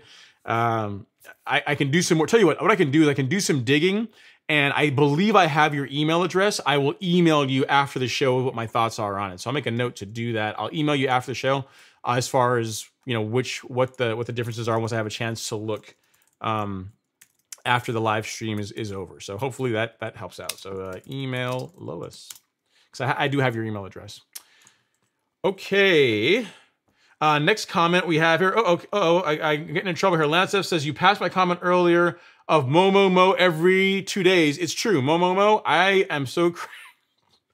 I'm so crazy. I want to mow. I want to mow the snow. Did I miss your comment, Lance? Let me see if I can find it. Let me see. I, I mean, I, I can't be passing up comments on on mowing. That would be a travesty. When did I pass it? When did I pass it? Let's see here. Uh, you're right. You're absolutely all right. He says, Mo mo mo every two days, let it rip. Yeah, buddy, you're absolutely right. You got it right. That is uh mowing is the thing that will set your lawn apart from your neighbors, as, along with everything else. Like regular mowing is the foundation, and then everything else I'm talking about, you know, the the carbon kit, the Humic Max, Essential G, like all those products. That's just that just gives you that X factor, you know, to where they they, they can't really catch you, but it's not going to matter if you're not mowing your lawn. So there you go. I have uh, I have corrected my sins, uh, Lance F. I got your comment, so I apologize about that. I apologize about that. All right, uh, G Free says that's a good question. He says, have you ever had a rotary mower before? Yeah, when I was a, was a kid, when I was a um, when I used to mow, when I was when I was made to mow lawns as part of servitude, as child servitude, child labor. When my dad made me uh, made me go out and mow, um, we have some properties on the island that I grew up on. So on the weekends not every weekend, but on certain weekends or certain weekends that were designated for, he called it, we're gonna go cut bush. So, you know, lawn mowing. So that's, uh, yeah, so yeah, there was that. And then also when I um, wanted to make money, uh, I mowed lawns in the neighborhood. So, so that was what it was. Like my, like my parents bought my first Nintendo, the original Nintendo, the 8-bit, the NES, the original Nintendo. And then after that, they said, any games you want, you got to pay for yourself. So mowing lawns was the way that I did it which is which is which is funny because at the time then I, I, really hated mowing grass. Like I just just I detested it, and then you get older and you turn into your parents. So who would have thunk? But yeah, no. In recent years, I have not owned a rotary mower. It, has been you know since I was I don't know teenager since I've um since I've I've had one. So I've owned a rotary. So there you go. Lawn Whispers in the house. What's going on, sir? Hopefully all is going well with you. Thanks for coming to hang out in the live stream. Coming in and say hi. It was very nice. And uh, appreciate that. And then uh, Eric has a question. He says, Alex B, do you, do you know the exact mix of soap and water? Uh, do you I need Dawn soap or another type of soap, and how much to use in the grass? Uh, I think it's just four ounces of soap, four ounces of, of Dawn. Um, Eric B, I would say if you can avoid the um, the antimicrobial uh. That's the only I'd say. It's probably not going to make a, a, night and day difference because you're only going to be spot spraying a couple of areas. But if you can stay away from the the, um, the antimicrobial, that's the only other thing I would say. But four four ounces with one gallon is what Demir was, uh, was suggesting. As he answered right here, any type of dish soap, four ounces, one gallon of water, good to go. Okay, um, Scott Long and Lois H. He says, uh, at Lois H, I also recommend getting an impact drill It makes blade removal and uh, so much easier. A hundred dollar uh, or less investment was one of the best additions to my kit. That's a good point because those those bolts can be um, they can be a bit tough to get off. So yeah, I mean having a little impact um, something like uh, I'm not gonna fish that out of there. Anyway, like uh, like a Dewalt or something or a Black and Decker. Like I have a Dewalt, but something like that that you can use to um to pop the bolt loose is a is a good idea. But again, even with doing that, make sure you disconnect the boot the boot off the spark plug before you get you flip the motor over. You start messing with the the blade because that way you you know you you take away chance of it starting up. So that's the only thing. What's a good idea? It's a good tip, Scott. Good tip. All right. Uh, Jim Carson says. Ron, so if we were to buy all of our fertilizer now, what should we buy? Uh, Humic Max. You, I mean, that's what I, that's what I'm going to use. If you're asking the question, that's what I would use. I if you if you need something special, so let's say your soil is let's say you have a scenario where you have like no phosphorus in your soil, right? And you've got to bring those levels up. Then like the 18, 24, 12 that I showed that was on the screen earlier, the one from Anderson's, like that would be a good option. But as a general as a general like excellent excellent fertilizer that like again you're just gonna you're gonna get good results with you just can't go wrong with humic max. Again literally I, there's, sold um, quite a bit of this product and i have yet to have anybody come back and be like you know what? I got it i got that fertilizer i tried it out and i didn't get good results with it. I didn't like it. You know i didn't like it so. It's a great product. I i um i'm a huge fan of it. A lot of uh, viewers have tried it and are really good fans of it and the price right now is actually very very good compared to what it was uh, over the summer of last year. Like it was this was the price. It was it was 69.99 over the summer last year. Likely it will get so i'm not sure it'll go up to that much or it might be that it might be that that price um come march timeframe. so we'll we'll, we'll see. So if you if you're looking for a great fertilizer that this is the one that i would recommend. It's what i've used. I'm also working on some other options as well but humic max is a great is an excellent fertilizer. You're not going to go wrong with it.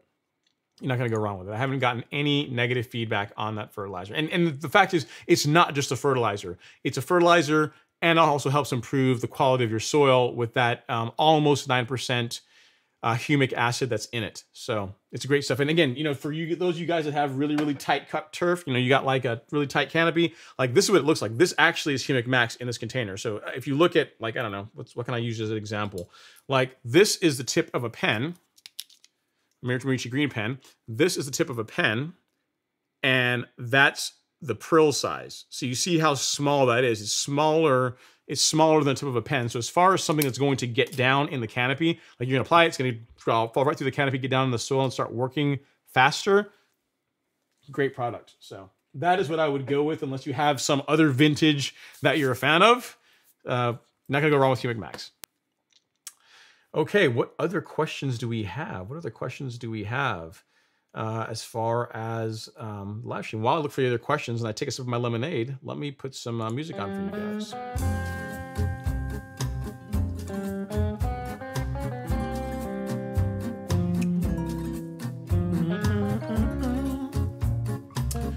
All right, our next question is from Heartfelt Fashion. It says, I did a soil test for my neighbor. He's low in all NPK, very low in all three. What FERT will quickly catch him up in all three. All right, well, quick. What do you mean by quickly? Like, quickly, like I mean, I can give you the fertilizer that's going to catch him up. Like quickly is relative, right? Quickly is relative. Uh, quickly is relative to the soil that he has, his pH, like all those things as far as the stuff being available. But um, you can't go wrong with the triple 12. If you're saying that he's low in all three and you're looking for a, generic balanced fertilizer that's got um, you know good source of NPK and also will also improve micronutrient as well, you cannot go wrong. Again, go to the Golf Course Lawn Store and you can look here for the Yard Mastery Triple 12. I think I've got it on here somewhere. Yep, right here. Right here, this is a great option for him. So him or her, I'm assuming it's the guy. So, oh yeah, it is a he, it's a guy. So yeah, so uh, this is what I would I would go with for some for a person that needs all three. Uh, you would go with uh, with this as a as a starter fert. That's a, it's a great option. Reasonably priced, delivered to your door. It's got everything else in it. It's a good it's a good option. That is what I would uh, that is what I would use. And I've got and thanks to Jim, I've actually, you know, pinned pinned the link to the Golf Course Lawn Store at the top of the chat so you don't have to actually type it in. Something I should probably should have done a long time ago, but hey, You think for a tech guy, it would be better. I'd be better than that, right? But uh, but yeah, get get get a little bit better every day. That's the goal in life. That's always your goal in life, right? Improve in a small way every day. Okay, uh, Fairway Bermuda uh, Lawn is saying, yeah, the Golf Course Lawn Academy really helped me get started. I still go back for info. Yep, I appreciate that, uh, Daryl. Yep, so he Daryl was a student in the Golf Course Lawn Academy, or that was he is because that's one that's one another bonus of it, right? Once you sign up, you have access for life. It's not there's no reoccurring charges or anything like that. Once you're in, you're in.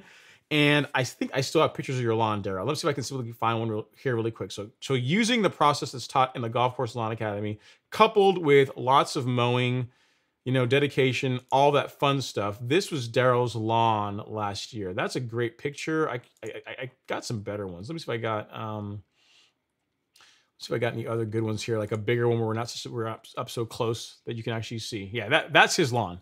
I mean, that's like a you know, I I like to think that he didn't just put that leaf down on the lawn right there, you know, that for just for effect to show you how how tight how tightly cut it is.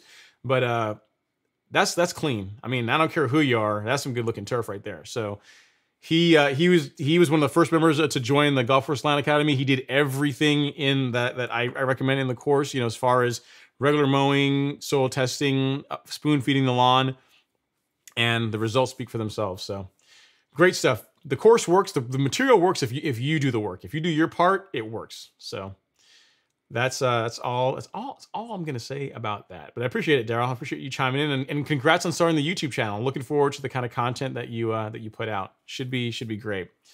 Okay, Daniel's up says my lawn renovation is only 1,000 square feet. So does that change any way I approach killing off my old common Bermuda and planting new seed? No, not really. It just means you got a lot less work to do. So, um, not really. I mean, a thousand square feet or 10,000 square feet, uh, you know, get, you, your plan is to get rid of the existing grass, and then seed. Um, you know, get, get rid of the existing grass, put down your starter starter fertilizer of choice, and then put down seed. Then uh, yeah, it doesn't it like a 1,000 square foot lawn to a 5,000 square foot lawn, same process. It's just a little bit less work, which is cool. You know, a thousand square foot lawn, you may say, oh, it's only a thousand square feet. But here's the thing, Daniel. Here's the upside to that. You only have a small space to look really awesome. So you can really pamper it, baby it, have it just you know you can make it you can really make it look baller without like having to be out there hours and hours on. And like you can mow a thousand square feet in i don't know 15 20 minutes if you're if you're slow. You can you can probably blow you can probably mow edge it and have it all done in 20 minutes. So that's that's a bonus. Like so you have no no reason to not have a great looking lawn with a with a thousand square feet to work with. So that's that's a bonus to uh to that. That's a bonus to that all right. And uh, you said that you're using, as far as killing it, uh, you said you're going to be using glyphosate applications five to six over the next few months, and then top dressing leveling around one inch of leveling mix with the last glyphosate application to the top dress uh, around three weeks before seeding. So sounds like you got a process, man. I'm I'm looking forward to it. The only thing I would tell you, Daniel, is take pictures. Take pictures like I mean, if you're already doing glyphosate now, like take pictures throughout the entire process. If you can, also take some video because it's always cool to be able to look back. You're not going to be able. I, that's the only regret I really have is I don't have more pictures and video of my lawn when it was trashy. Like I've got some. Like if you look in the the video that's on the um, if you go to golfcourselawn.com and look at the the video that is there. Uh, the first one you start that talks about the description of the course. There, you can see some screenshots of what my lawn used to look like. It was actually pretty crappy. So if you guys check that out, just watch the video. It's the first the first 20 seconds or so, I think but I don't I don't have enough of that of showing where where it was and what it turned into, and so that's the only regret I have. So with this big project you're taking on, definitely make sure you take lots of pictures, lots of video, so you have a uh, a good reference, a good reference. And then you can, if you want, send them my way, and I'll share I'll share them on the live stream. Everyone can see, hey, this is a Daniel's huge project and how it turned out. We can all like you know bow down to you and and basket all your all the glory of all your hard work, right? So there's that too there's that too. All right. Uh, we have a, a, a, question here. Eric B says, uh, Alex B, so use like uh, what I have, the two gallon sprayer. I think you're still talking about moss. And yeah, if you have moss, so in that case with a two gallon sprayer, again, if you have enough air that you require that much of it, um, it would be um, two gallons of water with eight ounces of dish soap. So that's what you would use Eric, for moss treatment in your two gallon in your two gallon sprayer. So not bad at all. Not not not too tough, but again, I it sounds like a lot of moss. If you need if you need two gallons worth of it, you probably have a lot of moss. I wouldn't think it would be that that much of it. Okay, let's see what other questions and or comments we have here. We got Thin Cut. We are winding down, guys. I'm talking to you guys out. Thin Cut is here. Says, evening, everyone. Don't forget to hit the like button. Well said, sir. You know, you just you just came in and you're making sure the business is taken care of. I appreciate that. I really appreciate that. You know, you need to come in and say, "Hey, Ron, I got a problem. You know, I got this weed in my lawn. I got, you know, how do I top dress? My mower won't start." The first thing you came in and says, "Hey, guys, hit the like button ever so gently." Ron would appreciate it, and you're absolutely right. I would appreciate it. Thanks, sir. Hope you hopefully you're doing well. Hopefully you're staying warmer than we are. Um, I think you're in Tennessee, so you're actually probably colder than, than than we are here in Georgia. But hopefully you're staying bundled up, staying out of this cold weather.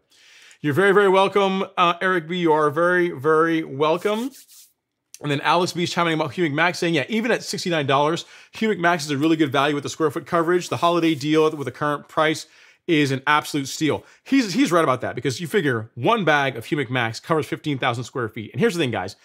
It's not like how some how some products that say, you know, one bag covers 15,000 square feet and it doesn't really cover 15,000 square feet. Like it's like a lot of the Yard Mastery products, right? Like if you get like uh, flagship or the triple 12 or any other products that are designed to be put down in that three pounds per thousand rate, like you really do get that much coverage. Like three, literally the three pounds per thousand square foot rate on Humic Max that gets you the about the around the half a pound of nitrogen per thousand square feet that I use in my spoon feeding program, right? So it's literally you can get, um, you know, three pound. if you apply it the way that I use it in the Golf Course Lawn um, Academy, one bag will cover fifteen thousand square feet. So compare that to the price of like say Milorganite, which is at I mean I have no idea what it costs now. Last year when I looked, it was like 17 $18 a bag. So which covers 2,500 square feet. So if you do the math on that, it's like way cheaper than Milo, and it also has humic um, uh, acid in it, and it also is got the you know the, the smaller prill size. So for shortcut turf, tight cut turf, it's a better it's a better product than the same Milo. So it's just a, a lot of benefits to it. And you're right, sixty nine dollars, it's a good deal. At forty seven ninety nine or whatever it is right now, it's like an absolute steal. You guys should be like loading up on it absolutely should be loading up on it. All right. Um, Jim Carson said, thanks. I just purchased the 1608 Humic Max. Awesome. Good job, man. Good job. Get it while it's there because when I have to reload, we have to restock it. It's uh, I don't know that it's going to be the same price. It's definitely not going to be 40 the price that it is now. It's it's it's likely going to cost more. All right, and the next one we have CE user. It's a good question about army worms. Says army worms can they be prevented or just treated when they arrive? They can be prevented, um, CE user. So uh, what I would recommend for, for keeping army worms out of your lawn is an insecticide called acelepryn. So do you remember last year when it was like army worm again, when everyone's lawns all around, like across the, the entire country, getting eat, eaten up with army worms? You know whose lawn wasn't getting eaten up with army worms? This guy's. You know who's also wasn't getting eaten up with army worms? Alex's, my neighbors. So the what I would recommend is um, an insecticide called acelepryn. There are again, yes, yes, you can go out, go to Home Depot and get like some of the some of the uh, less expensive um, options as far as as far as insecticides. But acelepryn, literally, I applied this stuff one time in March. I didn't have any issues with armyworms in my lawn all year. And I'm trying to find the video here for you now so you can uh, you guys can see what I am, um, what I'm talking about. Uh, yeah, keep your lawns. I, I, the, the title of the video is "Keep Your Lawns Grub Free." I'm, I'm talking about keeping grubs out of your lawn, but the act the thing is the active ingredient in acelepryn is uh, chlorantraniliprole. It's a mouthful. It's, chlor, it's chlorantraniliprole, and it's very good because it's it's very good at killing uh, armyworms, uh, bill bugs, uh, bluegrass weevils uh, but it doesn't kill earthworms. It doesn't doesn't harm pollinators. So it so it kills the stuff we want dead, and it's very good against armyworms too. Um, it keeps the stuff that we don't want in our lawn out of our lawn, but doesn't kill the stuff that we want to keep in our lawn. So it's an excellent product. Uh, highly, highly recommended. Like literally, I used um, acelepryn one time last year in March, and I had no issues with armyworms in my lawn. Alex was the same thing. No issues with any armyworms at all. When other lawns literally in, the, in our neighborhood was getting eaten up with them. So uh, and I've got, so I've got a video here. I'll send you a link, uh, CE user to it and also a link to the product and also a link to the videos that's for you to watch. The, the time to apply it is really March timeframe. March, March, uh, early April is a good time to get it down. That's when I did it and got great, great results. Uh, again, one bag for an entire season is really is really all you really should need. Depending, um, it was enough for my lawn, which is at the time was twelve thousand square feet. Before like fences and stuff went in, and it got a little bit smaller. And as far as the video that talks all about it and explains how to apply it and all the fun jazz, why it's so awesome. Uh, the video, uh, see a, a, a product video is there. So there you go. There's a product video that talks all about it. Um, so great product. That is what I would use. I do not wait until they arrive because by the time they arrive, it's too late. Army worms destroy lawns very, very quickly. You, eh, by the time you see them, like it's you're you're in for you're in for some pain. So get get a, a preventative insecticide down prior. I like to use Acelepryn earlier in the season, and it's uh, it, it's worked really good well for me. Worked very very well for me. All right. Uh, Thin Cut says you, he you are in Kannapolis, so I guess they were trying to name it after Annapolis. Kannapolis, uh, NC. I I get to enjoy snowy birthday tomorrow. I'll be 54. Happy birthday, man! Happy happy early birthday. That's that's awesome. That's awesome. I don't know where Kannapolis is, but uh, uh, again, I, I guess you get to go out and play in the snow if that's your thing, right? So cool stuff. Vance Woods is in the house of the question. He says, Hey, Mr. Stripe Action. Never been called that, but I guess it's worse or better than a lot of things I have been called. Says, uh, I hope all continues to go well with you. I appreciate that. It says, Thanks for all the advice last week on what to do to get rid of the POA and you are trying to take over my for, my uh, my Bermuda. You're very very welcome. Hopefully, if you've already started doing it, you're going to see results. Uh, just realize that any herbicides that you that you apply this time of year they're going to take a little bit, they're going to work a little bit slower, especially if you used, um, I'm not sure if we talked about image or if we spoke about certainty, but in both cases, just know it's going to be a little bit slower for you to get the result, but they will work just given, given time. So very, very cool. Rich Jared is like, when the price on Humic Max uh, dropped, I bought enough to last three seasons. I went after it like like COVID toilet paper. Although you know, so so what is a new thing? What's a new toilet paper now? So we we have toilet paper now. You can find that. But is uh cream cheese seems like it's the thing now, right? Like you can't find cream cheese in any of the stores, or at least not around here. Uh, it's like for some reason people are buying up all the cream cheese, or it's a supply chain thing where you can't get it. So always something, always something. And then Daniel, I think this will be our last comment of the night, looks like. He says, I got three pounds of Hydretain for seeding.